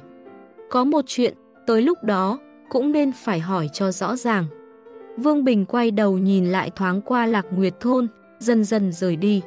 Kỳ Thủy Thành, Vương Lâm thật lâu không có đi tiểu quán, cả ngày hắn chỉ ngồi trong sân, hắn đang đợi, chờ đợi Vương Bình trở về. Lá dụng, luôn luôn quay về, người tha phương, cũng sẽ một ngày quay trở lại, trở lại bên cạnh người thân yêu. Ba tháng sau, bên trong kỳ thủy thành, vô cùng hỗn loạn. Một vài người hầu trong phủ, lần lượt rời đi, chỉ còn lại một mình lão bộc thủy chung ở lại, bởi vì cũng không có chỗ đi nữa nên lựa chọn ở lại. Toàn bộ kỳ thủy thành, coi như sắp thành khoảng không, tất cả né tránh chiến loạn. Tuy nói nơi đại quân thiên hành đế quốc đi qua, không có thương vong gì cho dân chúng, nhưng khủng hoảng vẫn lan tràn như trước. Kỳ Thủy Thành bị thiên hành đế quốc chiếm cứ. Đại quân liên tục thúc đẩy, Vương Bình nghỉ ở ngoài thành, không có đi vào mà theo đại quân rời đi. Phụ thân, hiện giờ con còn chưa có hoàn thành nguyện vọng năm đó của mình, chờ khi hoàn thành, sẽ quay lại gặp người. Thời gian chuyển luân, không ngừng trôi đi như trước, xuân hạ thu đông lần lượt thay đổi mấy lần, nhoáng một cái, lại qua 5 năm. Vương Bình, 52 tuổi, Đại Tần, Trần Vân, lần lượt thuần phục. Thiên hành đế quốc trở thành quốc gia duy nhất trên nhiễm vân tinh này. Từ khi hắn rời đi năm 27 tuổi, tới bây giờ đã qua 2 năm năm rồi. Vương Bình đã đạt được hết thảy những gì hắn mong muốn. Mặc dù phương diện này có rất nhiều, rất nhiều chuyện hắn không hiểu được, nhưng thời gian này cũng trôi qua quá nhanh. Chẳng qua, Vương Lâm năm đó đã nói một câu có thể như vậy hết thảy mọi chuyện cũng sẽ không quá thần kỳ. Đánh hạ Giang Sơn, Vương Bình không có lập tức tới gặp Vương Lâm, mà là bình tĩnh nhìn Giang Sơn của mình, cảm thụ vẻ mênh mông cuồn cuộn như ngày đó. Vương, Lâm vẫn như cũ, mỗi ngày sáng sớm ngồi trong sân, lão bộc già làm bạn ở bên cạnh. Cuộc sống bình thường, tâm của hắn, trong hơn 50 năm nay, dần dần thăng hoa. Thật yên lặng, không dậy một gợn sóng, đã qua 10 năm. Vương Bình 62 tuổi, thoạt nhìn có chút già nua, 10 năm làm trí tôn thế gian, khiến cho tâm trí hắn mệt mỏi. Loại mệt mỏi này khiến cho hắn đối với thời thơ ấu, đối với 8 năm chu du núi sông biển rộng, cực kỳ hoài niệm. Hắn càng hoài niệm hơn, chính là trong 28 này này, còn có cảm giác có phụ thân bên cạnh. Thanh Nghi cũng biến thành lão phụ nhân, những nếp nhăn nói lên trên mặt, nhưng ánh mắt của nàng, nhu tình càng đậm. Mặc dù, những năm gần đây, bọn họ vẫn không thể có con nối dõi. Ngày hôm nay, Vương Bình đã rời khỏi phụ thân được 35 năm rồi, một năm cuối thu, lá rụng bay múa, gió thu thổi nhẹ, lộ ra vẻ nhàn nhạt, của mùa thu. Vương Bình rời bỏ vị trí trí tôn nhân gian, đem Giang Sơn này đưa cho một thần tử Thủy chung vẫn theo hắn, rời đi. Hắn mang đi, ngoại trừ trí nhớ của 35 năm ra, chỉ có một mình Thanh Nghi ở bên cạnh, xe ngựa chậm rãi đi trên đường Kỳ Thủy Thành, chạy tới nhà phụ thân mình. Xe ngựa rong ruổi trên đường, đưa tiễn là lá cây hai bên đường bay là tả xuống, chúng nó theo gió lay động rơi trên mặt đường. Xe ngựa đi qua, cũng chỉ khiến cho những chiếc lá bay lên một lần nữa, nhưng rồi lại rơi xuống vị trí của mình, vẫn thủy chung vờn quanh đại thụ. Dường như bên trong đó còn có một loại lực lượng, khiến cho chúng không thể rời xa, mà có thể chính bản thân chúng cũng không muốn rời xa. Lá rụng, cuối cùng cũng về cội, người tha phương cuối cùng cũng sẽ trở về bên cạnh người thân. Theo những chiếc lá rụng xuống đất, kỳ thủy thành, khoảng cách ngày càng gần. Vương Lâm ngồi trong sân, lão bộc duy nhất, ba năm trước đã qua đời, trong phòng lớn này chỉ còn một mình hắn. Trước người hắn, đặt một cái bàn, bên cạnh còn hai chiếc ghế, trên bàn có vài món ăn sáng, một bầu rượu cùng ba đôi đũa.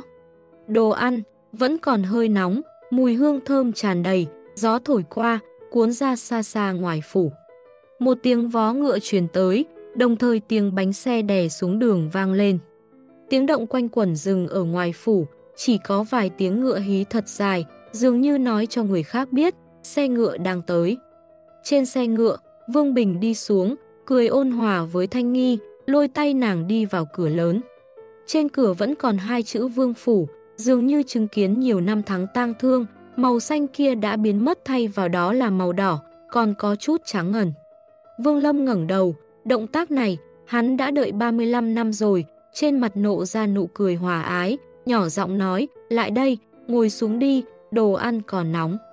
Lời nói vô cùng đơn giản, lộ ra bình thản ấm áp, không có hỏi, không nghi ngờ, càng chưa từng có khách khí, dường như giống như Vương Bình thường xuyên trở về vậy.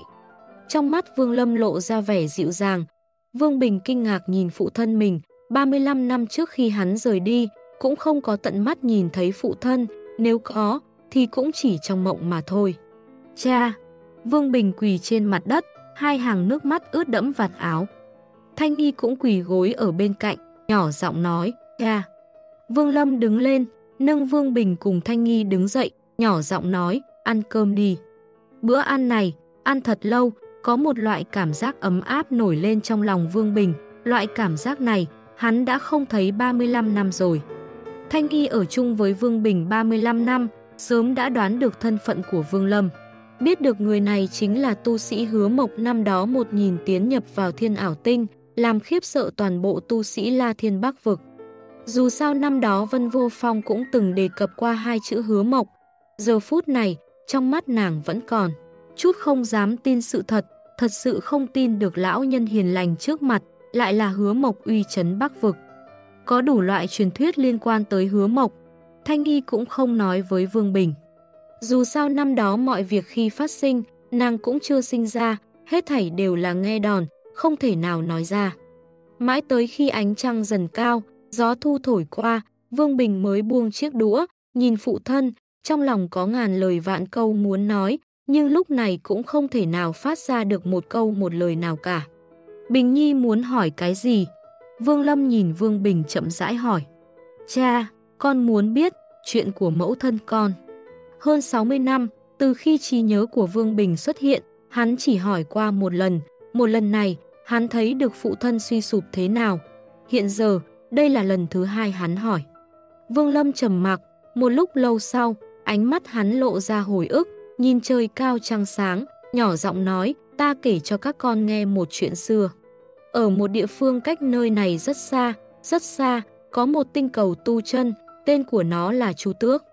Thanh âm của Vương Lâm lộ ra vẻ tang thương nồng đậm, từ trong miệng hắn nói ra, chậm rãi nói xong nhân sinh của một thiếu niên tên là Vương Lâm trải qua gần 900 năm. Hắn bước vào tu nhân, hàng nhạc phái, thiên đạo tông, dần dần chuyện xưa của Vương Lâm, tranh cuốn trong nhân sinh, trải qua trước mắt của Vương Bình và Thanh Nghi. Chuyện xưa rất dài, rất dài, những giữa những hàng chữ cũng lộ ra khí tức không nói rõ được, khiến cho người nghe chuyện này, đáy lòng rung động. Vương Bình kinh ngạc nhìn phụ thân, nghe chuyện xưa. Thanh Nghi bên người hắn, hai mắt mở to, cảnh tượng này rơi vào trong tai nàng, khiến cho nàng không khỏi chìm đắm trong đó. Tất nhiên nàng biết được, nhân vật chính trong chuyện này chính là phụ thân Vương Bình, lão nhân trước mắt. Nữ tu kia, tên là Liễu Mi, trăng sáng, sao thưa, gió thu theo thanh âm của Vương Lâm. Ở trong viện này dường như không muốn rời đi, bồi hồi không ngừng. Chuyện xưa của thiếu niên trên Chu Tước Tinh trong khúc chiết lộ ra tia bi ai và dung hợp vào trong ý thu, càng thêm vẻ nồng đậm. Trong mắt Thanh Nghi lúc này không biết đã chảy bao nước mắt. Vương Bình ngồi nghe tới giờ, cúi đầu, không rõ biểu tình. Sau đó, hắn mang theo đứa nhỏ tới nhiễm vân tinh này. Chuyện xưa của Vương Lâm đã nói xong, hắn cầm bình rượu, uống một ngụm lớn, nhìn lên không trung, không nói gì nữa. Thanh Y kinh ngạc nhìn phụ tử hai người, trong lòng có một loại cảm giác không nói được thành lời. Theo bản năng, nàng kéo tay Vương Bình, lập tức phát hiện ra tay Vương Bình lạnh lẽo vô cùng. Trong sân im lặng cực kỳ, hồi lâu sau, Vương Bình khàn khàn nhỏ giọng nói, chuyện xưa rất êm tai, cha, con mệt mỏi rồi. Vương Bình đứng lên, đi vào nhà sâu trong đại viện. Thanh Nghi thi lễ với Vương Lâm, đứng lên đi theo. Toàn bộ sân viện, chỉ còn lại một mình Vương Lâm, yên lặng ngồi một chỗ, ngẩn ngơ nhìn xa xa. Gió thu hơi lạnh, ban đêm ngày càng lạnh hơn, thổi tới bốn phía, đem một chút lá rụng thổi bay đi rất xa. Cũng không biết trải qua bao lâu, Vương Lâm than nhẹ, cúi đầu, cầm lấy bầu rượu đặt lên trên miệng, lại phát hiện ra rượu đã hết rồi. Đêm nay, Vương Bình không ngủ. Hắn ngồi ở trong phòng, nhìn trăng sáng trên cao, ánh mắt lộ ra vẻ thống khổ. Thanh Hy ngồi bên cạnh hắn, lôi cánh tay hắn, không nói gì, chỉ yên lặng làm bạn. Hóa ra, đây là đáp án. Ta đã đợi hơn 60 năm rồi. Vương Bình ánh mắt lộ vẻ thống khổ càng đậm. Hóa ra, ta là một oán anh bị mẫu thân luyện hóa. Vương Bình cúi đầu, trên mặt lộ ra vẻ chua xót và phiền muộn nồng đậm. Sáng sớm hôm sau, Vương Bình rời đi, Thanh Nghi Thủy Trung vẫn theo hắn. Từ đầu tới cuối hắn không nói với phụ thân một câu nào, cũng không nhìn một cái, khi rời đi vẫn là vào sáng sớm, yên lặng ngồi trên xe ngựa, xa xa biến mất. Cuối kỳ Thủy Thành, hắn không chú ý tới, trong khoảng khắc hắn rời đi, một ánh mắt từ xa nhìn theo xe ngựa, trong ánh mắt này lộ ra tang thương. Vương Lâm ra khỏi phòng, im lặng ngồi trong sân, nhìn trời cao trống vắng lẩm bẩm nói, có lẽ sẽ có một ngày con suy nghĩ cẩn thận ra. Vương Bình ngồi trong xe ngựa, hắn không biết muốn đi nơi nào, chỉ có phía trước mù mịt một mảnh. Hắn cảm thấy rất mệt mỏi, coi như mọi việc trên thế gian, trong giờ phút này, chẳng còn gì để cho hắn đáng phải nhìn nữa. Thanh Nghi, ta mệt mỏi quá rồi, tìm một sơn thôn nào yên tĩnh, chúng ta ở lại đi. Vương Bình nhỏ giọng nói, Thanh Nghi gật đầu, ánh mắt vô cùng ôn nhu. Trong một sơn thôn bình thường bơi biên thủy, Vương Bình và Thanh Nghi ở lại, cuộc sống trở nên bình thản, bọn họ tuổi tác đã lớn, năm tháng đã thường xuyên hiện lên trong mắt Vương Bình. Cuộc đời của hắn, 19 năm bình thường, 8 năm núi sông, 25 năm chinh chiến, 10 năm thế gian trí tôn, tuy nói là ngắn ngủi, nhưng trình độ phấn khích, người thường cũng còn xa mới có thể trải qua. Chỉ có điều, tới cuối cùng, hắn vẫn trở về với nguyên điểm, hết thảy trở lại bình thản. Mỗi ngày sáng sớm rời khỏi giường, cầm một khối gỗ ngồi điều khắc trong sân, bình thường. Mỗi lúc này Thanh Nghi đều ấm áp ngồi bên cạnh hắn, ánh mắt dịu dàng, nhìn hắn cầm đao điêu khắc, một đao lại một đao, hiện lên trước mắt. Phụ thân từng nói, điêu khắc là phải dùng tâm điêu khắc, chỉ có như vậy mới có thể khắc họa được hết thảy trong trí nhớ, toàn bộ chuyển vào đao, dung nhập lên tượng điêu khắc gỗ. Vương Bình bắt tay vào điêu khắc tượng gỗ, nhẹ nhàng thổi, những vụn gỗ bay lên. Đặt tượng gỗ được điêu khắc lên trên mặt đất, trong mắt Vương Bình lộ ra hoài niệm, hạ giọng nói, đây là lúc phụ thân còn trẻ. Tượng gỗ điêu khắc kia là hình ảnh Vương Lâm, thanh niên Vương Lâm ánh mắt linh hoạt, lộ ra quang mang sắc bén, tay chắp sau lưng. Ánh mắt nhìn ra thiên địa xa xa, một cỗ ngạo khí thản nhiên. Thời gian nhoáng một cái, đã qua 10 năm. Năm tháng tang thương, không thể tẩy đi dấu viết của luân hồi, trốn không thoát khỏi quỹ tích của thiên đạo. 10 năm đối với phàm nhân mà nói, trong thời gian dài đằng đẵng mang theo một chút ngắn ngủi, cảm giác này có chút mâu thuẫn, nhưng lại khắc họa chân thật trong lòng mỗi người phàm nhân. Đối với Vương Lâm mà nói, thời gian 10 năm cũng chỉ trong ngắn ngủi, mang theo một chút dài đàng đẵng. Mái tóc hắn hoa dâm, rất dài, dường như đã lâu không có trải vuốt qua, dung nhan cũng trở nên già nua hơn nhiều khi hắn khép hai mắt lại, dường như sắp tiến nhập vào luân hồi. Mười năm này, Vương Lâm trong bình thản, đối với lý giải thiên đạo, cũng rõ ràng hơn nhiều, khắc sâu hơn. Hết thảy những chuyện này cũng không phải hắn để tâm vào, mà là trong sự vô tâm, tự nhiên hiểu ra. Những cây cối trong sân đã chết đi phân nửa, chúng cũng không thoát khỏi luân hồi, nhưng là khi chúng chết đi không lâu, cũng có những sức sống mới xuất hiện. Bên trong ý cảnh sinh tử luân hồi, phát sinh biến hóa, có ở khắp mọi nơi, chỉ có điều trước đây Vương Lâm mặc dù thấy được, cũng sẽ không có cảm xúc. Hiện giờ hắn vô tâm lại nhìn thấy trong mắt, có một sức sống vô cùng. Đóa hoa nơi góc tường, hàng năm rơi xuống, nhưng hàng năm cũng nở rộ. Tầng mây trên cao, ngày ngày tiêu tan, nhưng ngày ngày lại ngưng tụ lần nữa. Thế gian cũng như vậy, có người chết, có người sinh. Dường như đó là một loại cân bằng vi diệu. Nếu nói là nhân quả, cũng ẩn chứa trong đây. Các bạn đang nghe chuyện tiên nghịch của tác giả Nhĩ Căn tại Thư viện Sách Nói miễn phí, chuyện đọc việt.com Chương 698, Sứ giả lôi tiên điện chân chính Trong một căn phòng lớn ở Vương Phủ, chỉ có một mình Vương Lâm, điểm này, hàng xóm xung quanh dường như đã sớm quen thuộc rồi. Ngày thường, cũng không hề để ý lũ trẻ chạy vào đây chơi đùa. Mới đầu mọi người, còn sợ hãi Vương Lâm, nhưng thế gian này quá dài, những tiểu hài tử đó cũng phát hiện ra, lão gia gia này không có chút dọa người nào cả.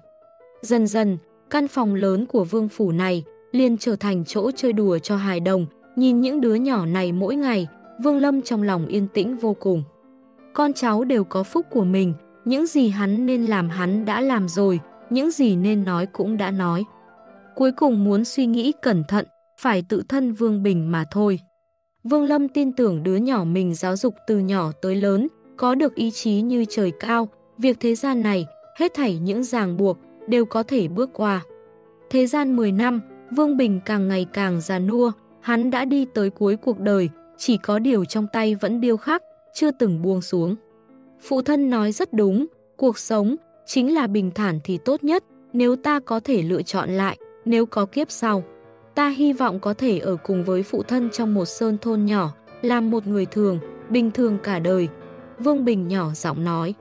Ở bên cạnh hắn, Thanh Hy lẳng lặng nhìn Vương Bình, nhỏ giọng nói, chàng đã suy nghĩ cẩn thận, vì sao còn không đi gặp mặt lão nhân gia. Vương Bình buông pho tượng phụ thân trong tay pho tượng này hắn khắc chính là hình ảnh Vương Lâm ngồi trước bàn ăn 10 năm trước, ôn nhu nói một câu với hắn ăn cơm đi. Thanh Hy, nàng không hiểu. Ánh mắt cơ trí của Vương Bình, tuổi hắn càng tăng thì càng nồng đậm.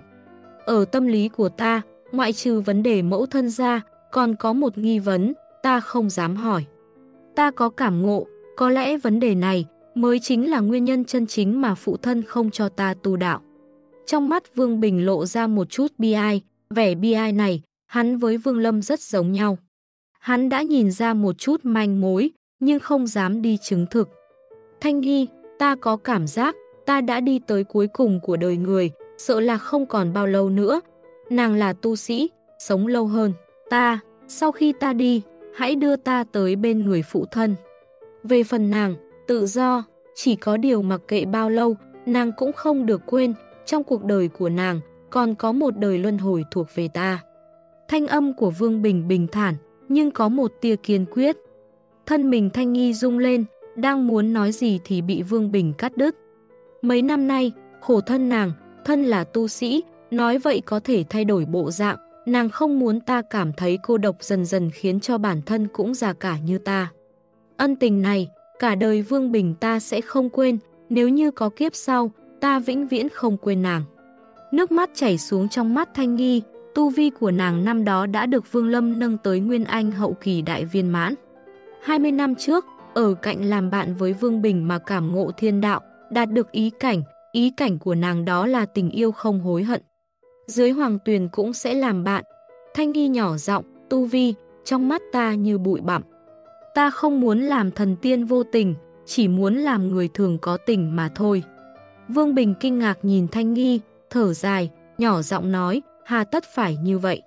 Lúc này, trên không trung, đột nhiên một đạo lôi quang rít gào mà tới, xuyên qua tinh vân mà tiến tới. Lôi quang này nếu nhìn kỹ, có thể phát hiện ra đó không ngờ lại là một đầu mãnh thú khổng lồ.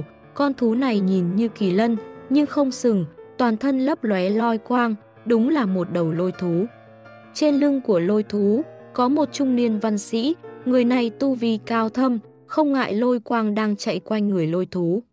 Tốc độ của lôi quang cực nhanh, hướng về La Thiên Bắc cực cấp tốc chạy đi. Mục tiêu của hắn cực kỳ chính xác, đúng là nhiễm vân tinh của La Thiên Bắc vực. 70 năm trước, thiên huyễn tinh nơi đây xuất hiện biến cố. Lão tổ của huyễn tinh Tu Vi bước vào đệ nhị bộ bỏ mình. Và lại chuyện này có xuất hiện hư hư thực thực của lôi tiên điện, xứ, dần dần nối lên chú ý của lôi tiên điện. Căn cứ vào điều tra, dường như người lôi tiên điện hư hư thực thực kia vẫn chưa rời khỏi nhiễm vân tinh, vì vậy, liền phái người tới điều tra. Người trung niên văn sĩ này dĩ nhiên đã siêu thoát khỏi đệ nhất bộ tu tiên, lúc này cũng đạt tới âm hư cảnh giới. Hắn ngồi trên lôi thú, bước vào La Thiên Bắc vực, không dừng lại, thẳng tới nhiễm vân tinh. Không ngờ có người dám giả mạo lôi tiên điện sứ giả, chuyện này đã lâu không xuất hiện qua rồi. Người trung niên trên mặt lộ ra nụ cười lạnh, thân là sứ giả lôi tiên điện, hắn có quyền uy thật lớn. Toàn bộ La Thiên Tinh vực, ngoài trừ vài gia tộc tu chân thượng cổ ra, hầu như không có ai dám trêu chọc tới lôi tiên điện. Có thể khiến cho ta lôi đạo tử, chân chính sứ giả lôi tiền điện tới tìm, người này cũng khá, nhưng đừng tưởng rằng có thể thi triển được vào thần thông lôi hệ là có thể giả mạo lôi tiên điện ta. Người của lôi tiên điện chân chính cần phải có lôi thú. Lôi đạo tử tay phải đặt lên đầu lôi thú, nhẹ nhàng vỗ vỗ vài cái. Lôi thú dường như cảm nhận được kiêu ngạo của chủ nhân, ngửa đầu rít gào một tiếng, làm cho sấm đánh oanh oanh quanh quẩn trong vũ trụ. Khoảnh cách tới nhiễm vân tinh ngày càng gần, phàm nhân cả đời, trăm tuổi cũng là điểm cuối. Nhưng chân chính có thể sống tới trăm tuổi cũng có bao nhiêu. Vương Bình, lúc 72 tuổi là cảm nhận được cuộc sống của mình đã sắp hết. Thân thể hắn mặc dù khỏe mạnh, nhưng rõ ràng có cảm giác dường như cuộc sống sắp tới tận cùng rồi. Mùa đông năm nay, giống như năm tôn thái rời đi, tuyết lớn tới rất sớm, khiến cho toàn bộ thôn dân không thể đi ra ngoài, chỉ có thể yên lặng ở lại bên cạnh người thân, vượt qua mùa đông năm nay. Gió lạnh gào rít lạnh như băng, ở trong thiên địa, dường như mang đi rồi lại mang tới một sinh mệnh vậy. Rồi lại đưa tới mùa xuân, phảng phất một vòng tuần hoàn của luân. Hồi, mùa đông năm nay, dường như còn rét lạnh hơn so với những năm khác nhiều, những bông tuyết lạnh hỗn loạn, càng thêm rét thấu xương. Những ngôi nhà đơn giản, nếu không nằm bên lò sưởi ấm áp, chắc chắc sẽ bị gió lạnh thổi bay. Trong thôn, trong căn nhà cuối Tây, một ánh lửa chiếu sáng ra bên ngoài, mang theo một chút ấm áp, chỉ là so với bông tuyết cùng gió lạnh ban đêm, có vẻ như nó nhỏ bé vô cùng không chút đáng kể.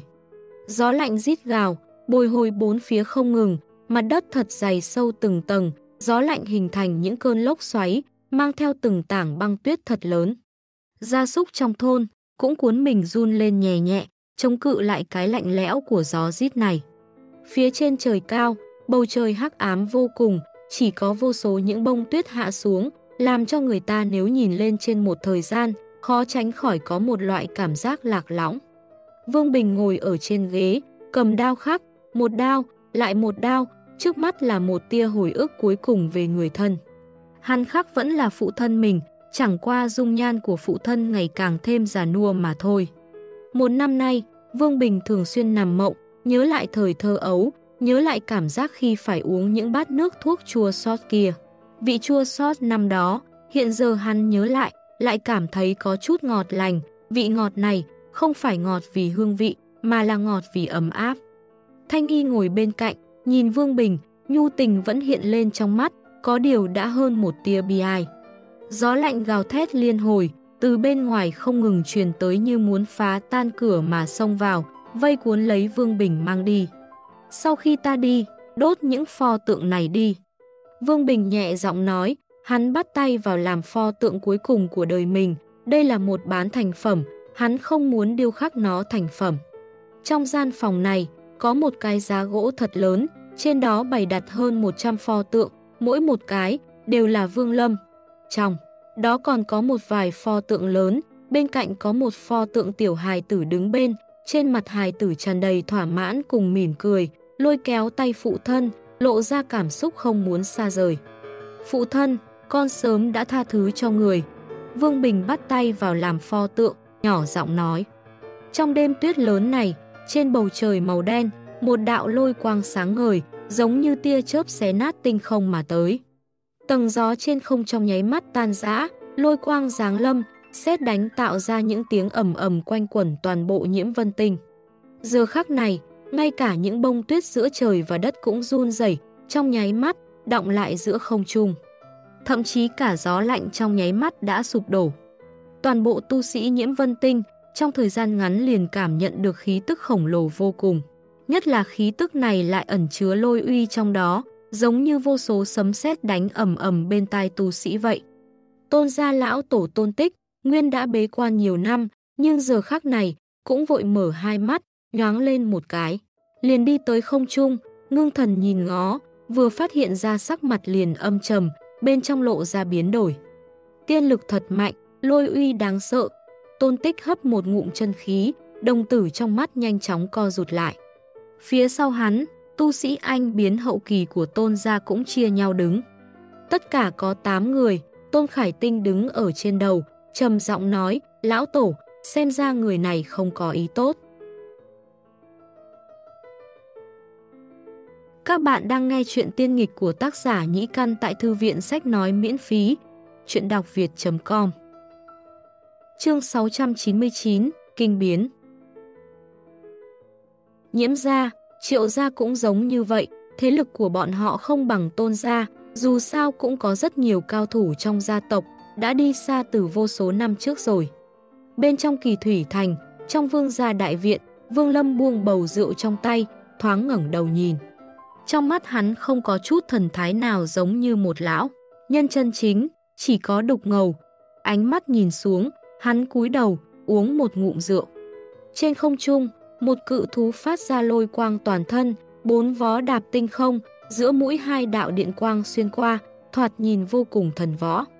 Ở trên lưng cự thú, một người đàn ông trung niên ngồi khoanh chân, hắn đứng là lôi tiên điện lôi đạo tử. Ánh mắt hắn như điện, lạnh lùng nhìn lướt qua mặt đất, thần thức không chút cố kỵ, quét ngang hết thảy, trong nháy mắt bao trùm toàn bộ nhiễm vân tinh. Kỳ Thủy Thành cũng nằm trong số đó. Chỉ có điều không biết vì sao, thần thức hắn tảo qua cũng không dừng lại trên người Vương Lâm chút nào. Trong khi thần thức hắn quét ngang, toàn bộ tu sĩ nhiễm vân tinh, tinh thần kịch chấn, ngoài trừ những tu sĩ này ra. Hết thảy những yêu vật trên nhiễm vân tinh này, thân mình cũng run rẩy dường như đối mặt với uy lực của thiên địa vậy. Ngay cả phàm nhân, cũng như vậy, mặc dù bọn họ căn bản không biết được nguyên nhân, chỉ cảm thấy toàn thân phát lạnh, trong đầu ầm ầm chấn động, ngay sau đó liền hôn mê đi, bất tỉnh nhân sự. Trong nháy mắt toàn bộ nhiễm vân tinh liền một mảnh yên tĩnh. Trong giây lát, lôi đạo tử thu hồi thần thức, nhíu mày, hắn tìm một vòng, cũng không phát hiện ra người nào phù hợp với yêu cầu. Hắn thu hồi thần thức, bông tuyết lại rơi xuống, gió lạnh lại bắt đầu. Chuyện xảy ra lâu lắm rồi, có lẽ cũng rời đi, người này tính là mạng lớn đi. Lôi đạo tử trầm ngâm một lát, xoay người định rời khỏi, nhưng vào lúc này, ánh mắt hắn bỗng nhiên ngương động. Thần thức như một tia chớp, tập trung vào một thôn nhỏ trong núi ở nhiễm vân tinh. Thanh nghi, lúc thần thức đảo qua lần đầu tiên, sắc mặt lập tức tái nhợt, thân mình không tự chủ được mà run rẩy lên, linh lực suýt nữa thì sụp đổ, điều chỉnh hồi lâu cũng không điều hòa lại được. Vương Bình giật mình, ngẩng đầu nhìn Thanh Nghi hạ giọng nói, Thanh Nghi, nàng có chuyện gì vậy?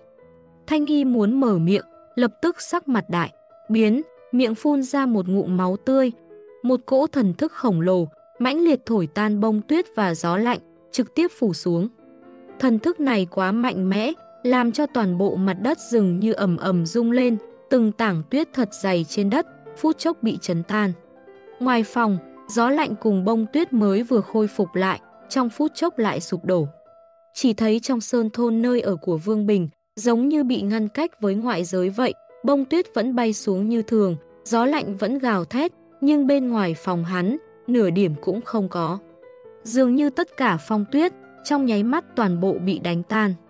Thanh Hy hình thành nguyên thần không lâu, lập tức xuất ra linh lực tranh đấu, khiến cho thân thể của nàng, mặc dù dưới cỗ thần thức khổng lồ đang phủ xuống vẫn tiến lên được một bước, đứng chắn trước mặt Vương Bình. Dung nhan của nàng già nua, nhưng trong mắt lộ ra vẻ bất khuất kiên cường. Thú vị, không ngờ không bị hôn mê, thanh âm lạnh như băng, quanh quẩn trong phòng. Trong khoảng khắc thanh âm xuất hiện, cửa phòng bỗng nhiên bị đẩy ra, một người đàn ông trung niên đi vào, hắn dẫm chân tại chỗ liền tiến vào phòng nhanh như chớp. Thanh Y sắc mặt tái nhợt không chút huyết sắc. Nàng có thể cảm thấy trên người đối phương có một khí tức không thể tưởng tượng được, khí tức này rất mạnh, giống như uy lực của thiên địa, căn bản không thể kháng cự. Ở trước mặt đối phương, Thanh Nghi cảm thấy mình như một con kiến, dường như chỉ một ý niệm trong đầu đối phương liền có thể làm cho mình chết đi vô số lần, chọn đời không siêu sinh, chết không chỗ chôn Càng làm cho nàng cảm thấy đồng tử trong mắt như co rụt lại là trên người người này, còn ẩn chứa một đạo lôi quang, trận trận tia chớp chạy ra ngoài thân thể, thoạt nhìn giống như lôi tiên vậy. Hắn nhìn như tùy ý đạp cửa vào phòng, cũng khiến cho toàn bộ gian phòng phát ra những tiếng ca ca, từng đạo lôi quang chạy dọc theo vách phòng, rồi toàn bộ phòng giờ phút này, giường, như bị điện quang bao vây vậy. Nếu là ngoại giới tới nhìn xem, có thể nhìn thấy rõ ràng, gian phòng của Vương Bình lúc này dĩ nhiên bị lôi điện vây quanh. Ở trên không, đầu lôi thú kia lười nhác nằm sấp trên hư không, ánh mắt lộ vẻ khinh thường, dường như thế gian này không có chuyện gì có thể khiến cho nó chú ý dù chỉ nửa điểm vậy.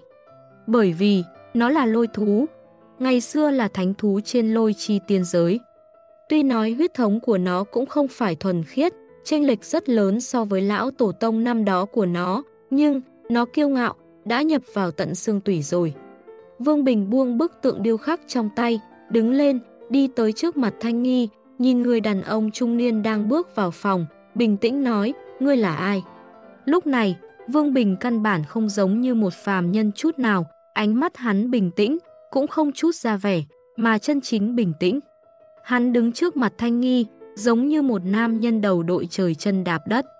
Hết thảy cái này, phải cảm tạ phụ thân Vương Lâm của hắn, 19 năm bình thản, 8 năm hành trình núi sông thiên địa.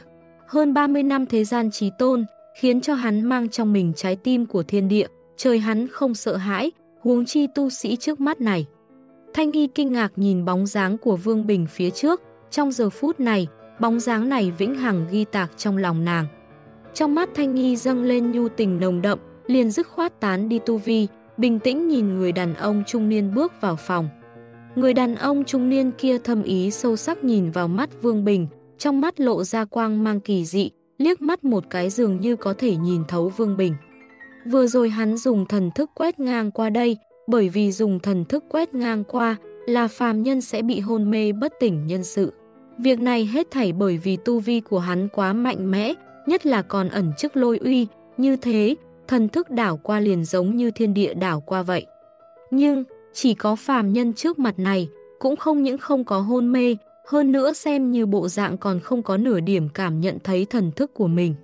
Như thế, lập tức hấp dẫn chú ý của hắn, thần thức liền tập trung tới nơi này. Hắn chậm rãi nói, thú vị, khó trách ngươi không hôn mê, hóa ra là như thế này. Trong nháy mắt khi người đàn ông trung niên vừa bước vào phòng, trong kỳ thủy thành cách xa đây vạn dặm. Vương Lâm Nguyên vốn bình tĩnh ngồi trên ghế cầm bầu rượu uống xong một ngụm, cũng mạnh mẽ ngẩng đầu, tay phải hất phía trên bầu rượu. Bầu rượu lập tức vỡ vụn, thậm chí cả rượu bên trong cũng trực tiếp tan thành hư không, không dư thừa một chút nào. Vương Lâm ngẩng đầu lên, trong mắt tuôn ra hàn quang mà mấy chục năm rồi không có thấy, so với lúc trước ở trong tử lâu, còn đáng sợ hơn vô số lần. Dường như thiên địa dừng ở đây, cũng căn bản không thể đánh đồng. Lôi đạo tử ánh mắt dừng ở trên người Vương Bình, trong mắt lộ ra vẻ hứng thú, chậm rãi nói, hóa ra, ngươi không phải là người. Hắn vừa nói chuyện, thân mình Vương Bình liền chấn động, đúng lúc này, bóng dáng phía sau liền động đậy, từ dưới chân lập tức biến ảo ra. Tiên vệ khôi lỗi cơ hồ vừa hiện thân, liền đánh ra một quyền. Một quyền này, đánh ra một mảnh âm bạo, oanh long không gian, không ngờ có thể thay thế được tiếng sấm, thẳng tới lôi đạo tử. Ánh mắt lôi đạo tử ngưng động, hắn vừa nhìn ra trong bóng của Vương Bình, có ẩn chứa một khôi lỗi, cho nên cũng không kinh ngạc. Mà hai tay bấm tay niệm thần chú, từng đạo lôi quang lóe lên không trung, hứng tới một quyền của tiên vệ khôi lỗi, trục qua. Một quyền của tiên vệ khôi lỗi trực tiếp đánh vào trong lôi quang, giống như một cái rùi sắc bén, nhanh chóng xuyên thấu qua, không thèm quan tâm tới lôi quang. Một quyền, dừng ở trên tay lôi đạo tử. Lực lượng hủy diệt, điên cuồng từ nắm tay tiên vệ vô tình dũng mãnh tràn vào lôi đạo tử, dường như lúc này gió lốc, nổi lên, phát ra những tiếng động ầm ầm. Một thanh âm quanh quẩn khắp nơi, lôi đạo tử thân mình nhoáng lên một chút, lùi về phía sau một bước, hai tay run lên, lôi quang tiêu tán. Trong mắt hắn lộ ra quang mang kỳ dị, nhìn chằm chằm vào khôi lỗi, cười lớn nói, cực phẩm khôi lỗi. Tiên vệ khôi lỗi lùi về phía sau hai bước, ánh mặt lộ ra vẻ lạnh như băng, toàn bộ lôi quang chạy trên người, giống như là ngân xả loạn vũ vậy. Lôi đạo tử cười to, thân mình bước tới trước một bước, một bước này vừa mới nhấc chân lên, điện quang chạy khắp xung quanh gian phòng. Trong phút chốc điên cuồng lóe lên, không ngờ ngưng tụ lại trên chân lôi đạo tử, theo hắn hung hăng đạp một cái trên mặt đất. Toàn bộ thiên địa, dường như trong khoảnh khắc này đều chấn động ầm ầm. Căn phòng trong nháy mắt tiên tan, không lưu lại một chút dấu vết nào. Điện quang hình thành một vòng tròn sáng, lan tràn ra bốn phía xung quanh, Vương Bình là người đứng mũi chịu sào. Ánh mắt tiên vệ khôi lỗi ngày càng lạnh băng hơn, dậm chân tại chỗ, một quyền phát ra, nhưng lôi quang này sóng gợn tản ra quá lớn, với lực của hắn, hiển nhiên không thể bận tâm toàn bộ được. Mắt thấy lôi quang sẽ lan tràn tới thân thể Vương Bình phía sau, Thanh Nghi ở phía sau thần sắc không thay đổi, lôi kéo tay Vương Bình, ánh mặt đầy nhu tình nhìn Vương Bình. Về phần Vương Bình, thần sắc cũng không nửa điểm bối rối, dường như Thái Sơn có sụp đổ trước mắt, cũng sẽ không động dung vậy, bởi vì hắn biết phụ thân mình nhất định sẽ tới. Trong mắt hắn, phụ thân là tồn tại mạnh nhất dưới vòng trời này, không người nào có thể chống cự. Các bạn đang nghe chuyện tiên nghịch của tác giả Nhĩ Căn tại Thư viện Sách Nói miễn phí, chuyện đọc việt.com Chương 700, Tu Vi Vương Bình trầm ổn, khiến cho ánh mắt lôi đạo tử tảo qua, sau một thoáng cẩn thận nhìn xem, hắn cũng ngẩn ra, coi như nhìn thấu được một chút gì đó. Sóng gợn điện quang mang theo những tiếng oanh động ầm, ầm, thẳng tới Vương Bình, nhưng trong nháy mắt khi điện quang vừa tới, một thanh âm tang thương chậm rãi quanh quẩn trong thiên địa. Thanh âm này lộ ra vẻ tang thương cực kỳ nồng đậm, dừng ở bốn phía, chỉ trong thời gian ngắn, khiến cho sóng gợn điện quang như cuồng long này bỗng nhiên không chút nhúc nhích. Điện quang màu lam dường như có sinh mệnh vậy, giống như những sợi tơ, trong đó một vài sợi thậm chí đã kéo dài tới trước mặt Vương Bình ba tấc, nhưng giờ phút này đều động lại. Thanh âm kia chỉ mang theo có một chữ, định. Trong hư không, xuất hiện một lốc xoáy thật lớn, trong lốc xoáy kia, một lão nhân tóc trắng xóa nhịp bước thong thả đi ra.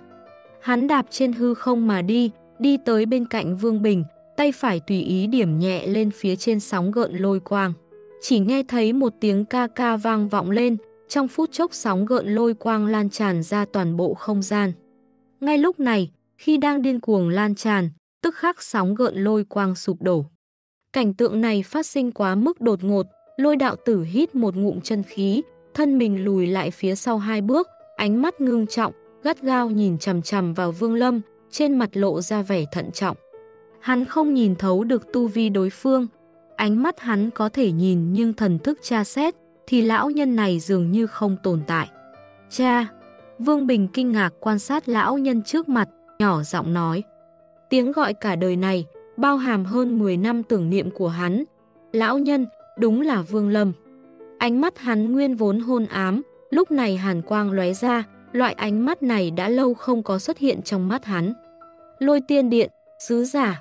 Vương Lâm chậm rãi nói. Tiên vệ khôi lỗi nhoáng lên một cái, đứng ở bên người Vương Lâm, ánh mắt lạnh như băng nhìn lôi đạo tử. Lôi đạo tử nhìn chằm chằm vào Vương Lâm, thân sắc cực kỳ ngưng trọng nói, các hạ là ai?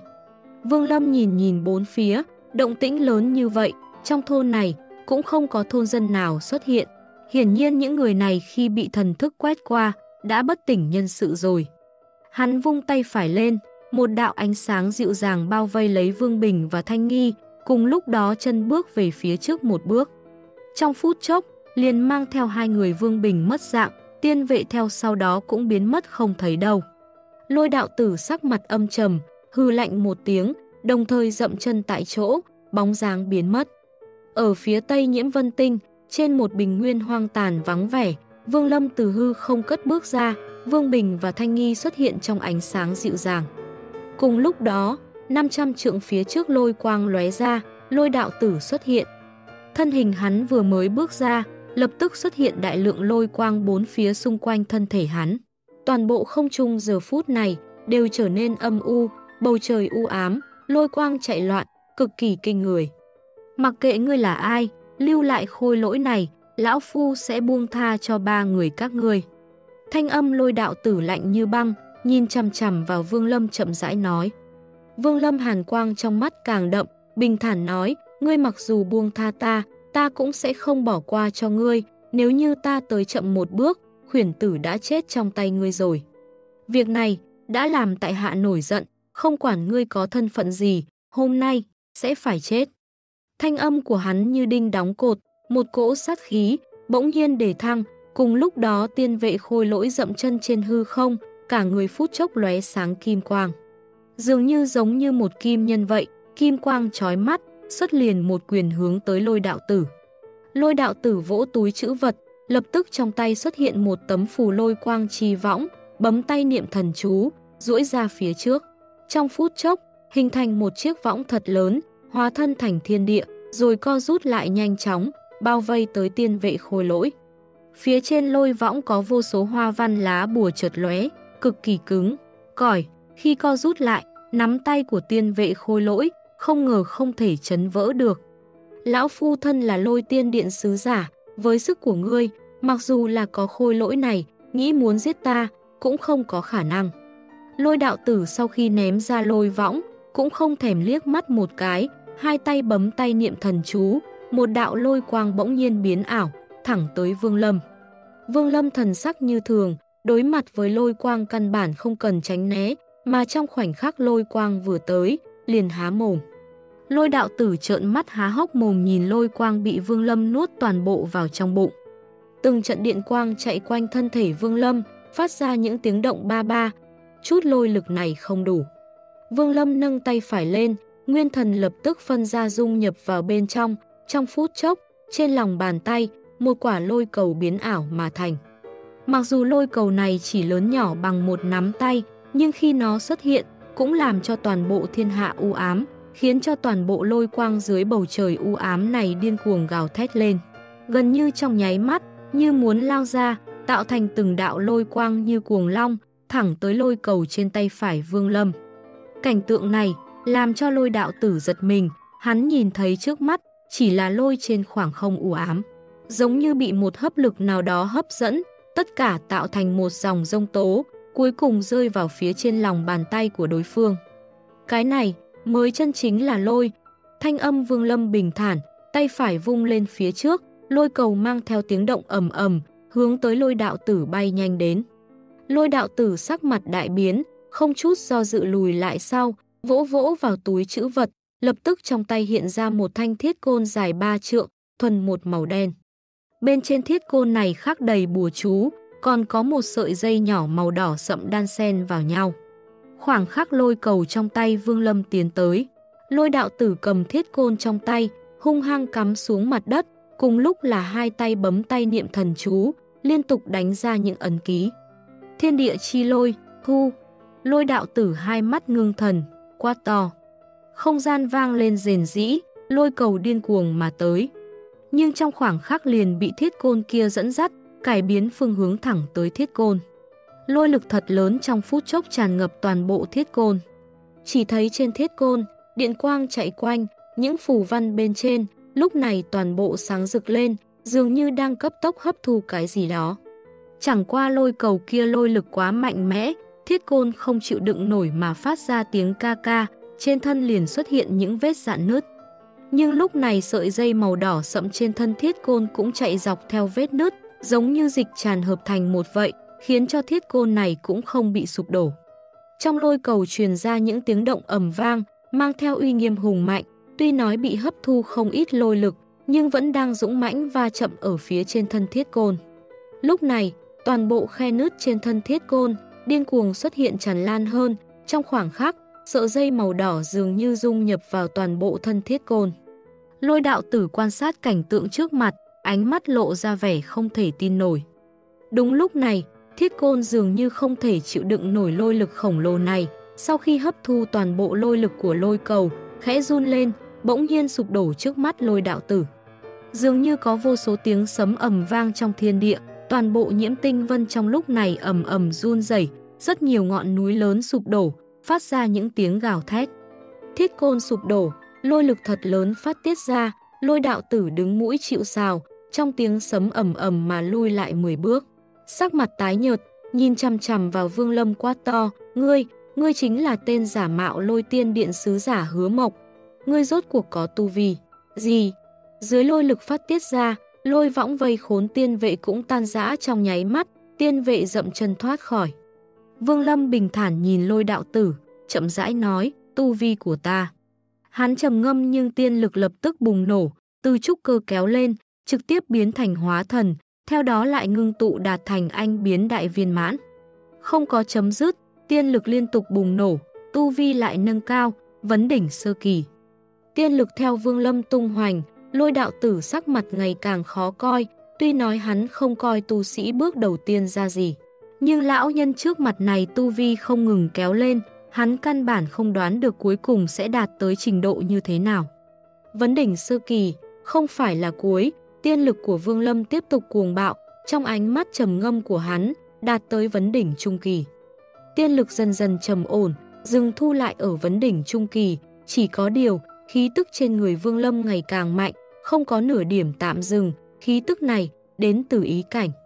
Vốn phạm trù vấn đỉnh trung kỳ, không thể kéo lên được ý cảnh, nhưng khí tức hóa thành ý cảnh bay lên, càng ngày càng đậm, khiến cho sắc mặt của lôi đạo tử ngày càng thêm âm trầm. Kéo lên ý cảnh, dường như không bao giờ dừng, đột phá vấn đỉnh trung kỳ, điên cuồng kéo lên, trong giờ phút này, mái tóc bạc của Vương Lâm phất phơ trong gió, ánh mắt hắn vẫn trầm ngâm càng ngày càng đậm. Khí tức khổng lồ tràn ra bên ngoài Vương Lâm, hướng tới bốn phía, dần dần bao trùm toàn bộ nhiễm vân tinh. Ý cảnh, không ngừng phóng thích, đạt tới vấn đỉnh hậu kỳ, không có chấm dứt, vẫn tiếp tục. Cảnh tượng này làm cho mí mắt lôi đạo tử nhảy lên, hắn gần như không thể hô hấp, cảm giác không ổn mạnh mẽ xuất hiện trong lòng. Nhưng lập tức hắn phát hiện ra ý cảnh kia dường như đã ngừng lại, hắn không khỏi nhẹ nhàng thở ra một hơi, trong lòng thầm nhủ, loại tu sĩ vẫn còn dừng ở bước đầu tiên, giết cũng dễ, dàng, chỉ có điều, hắn thật sự hơi quái dị.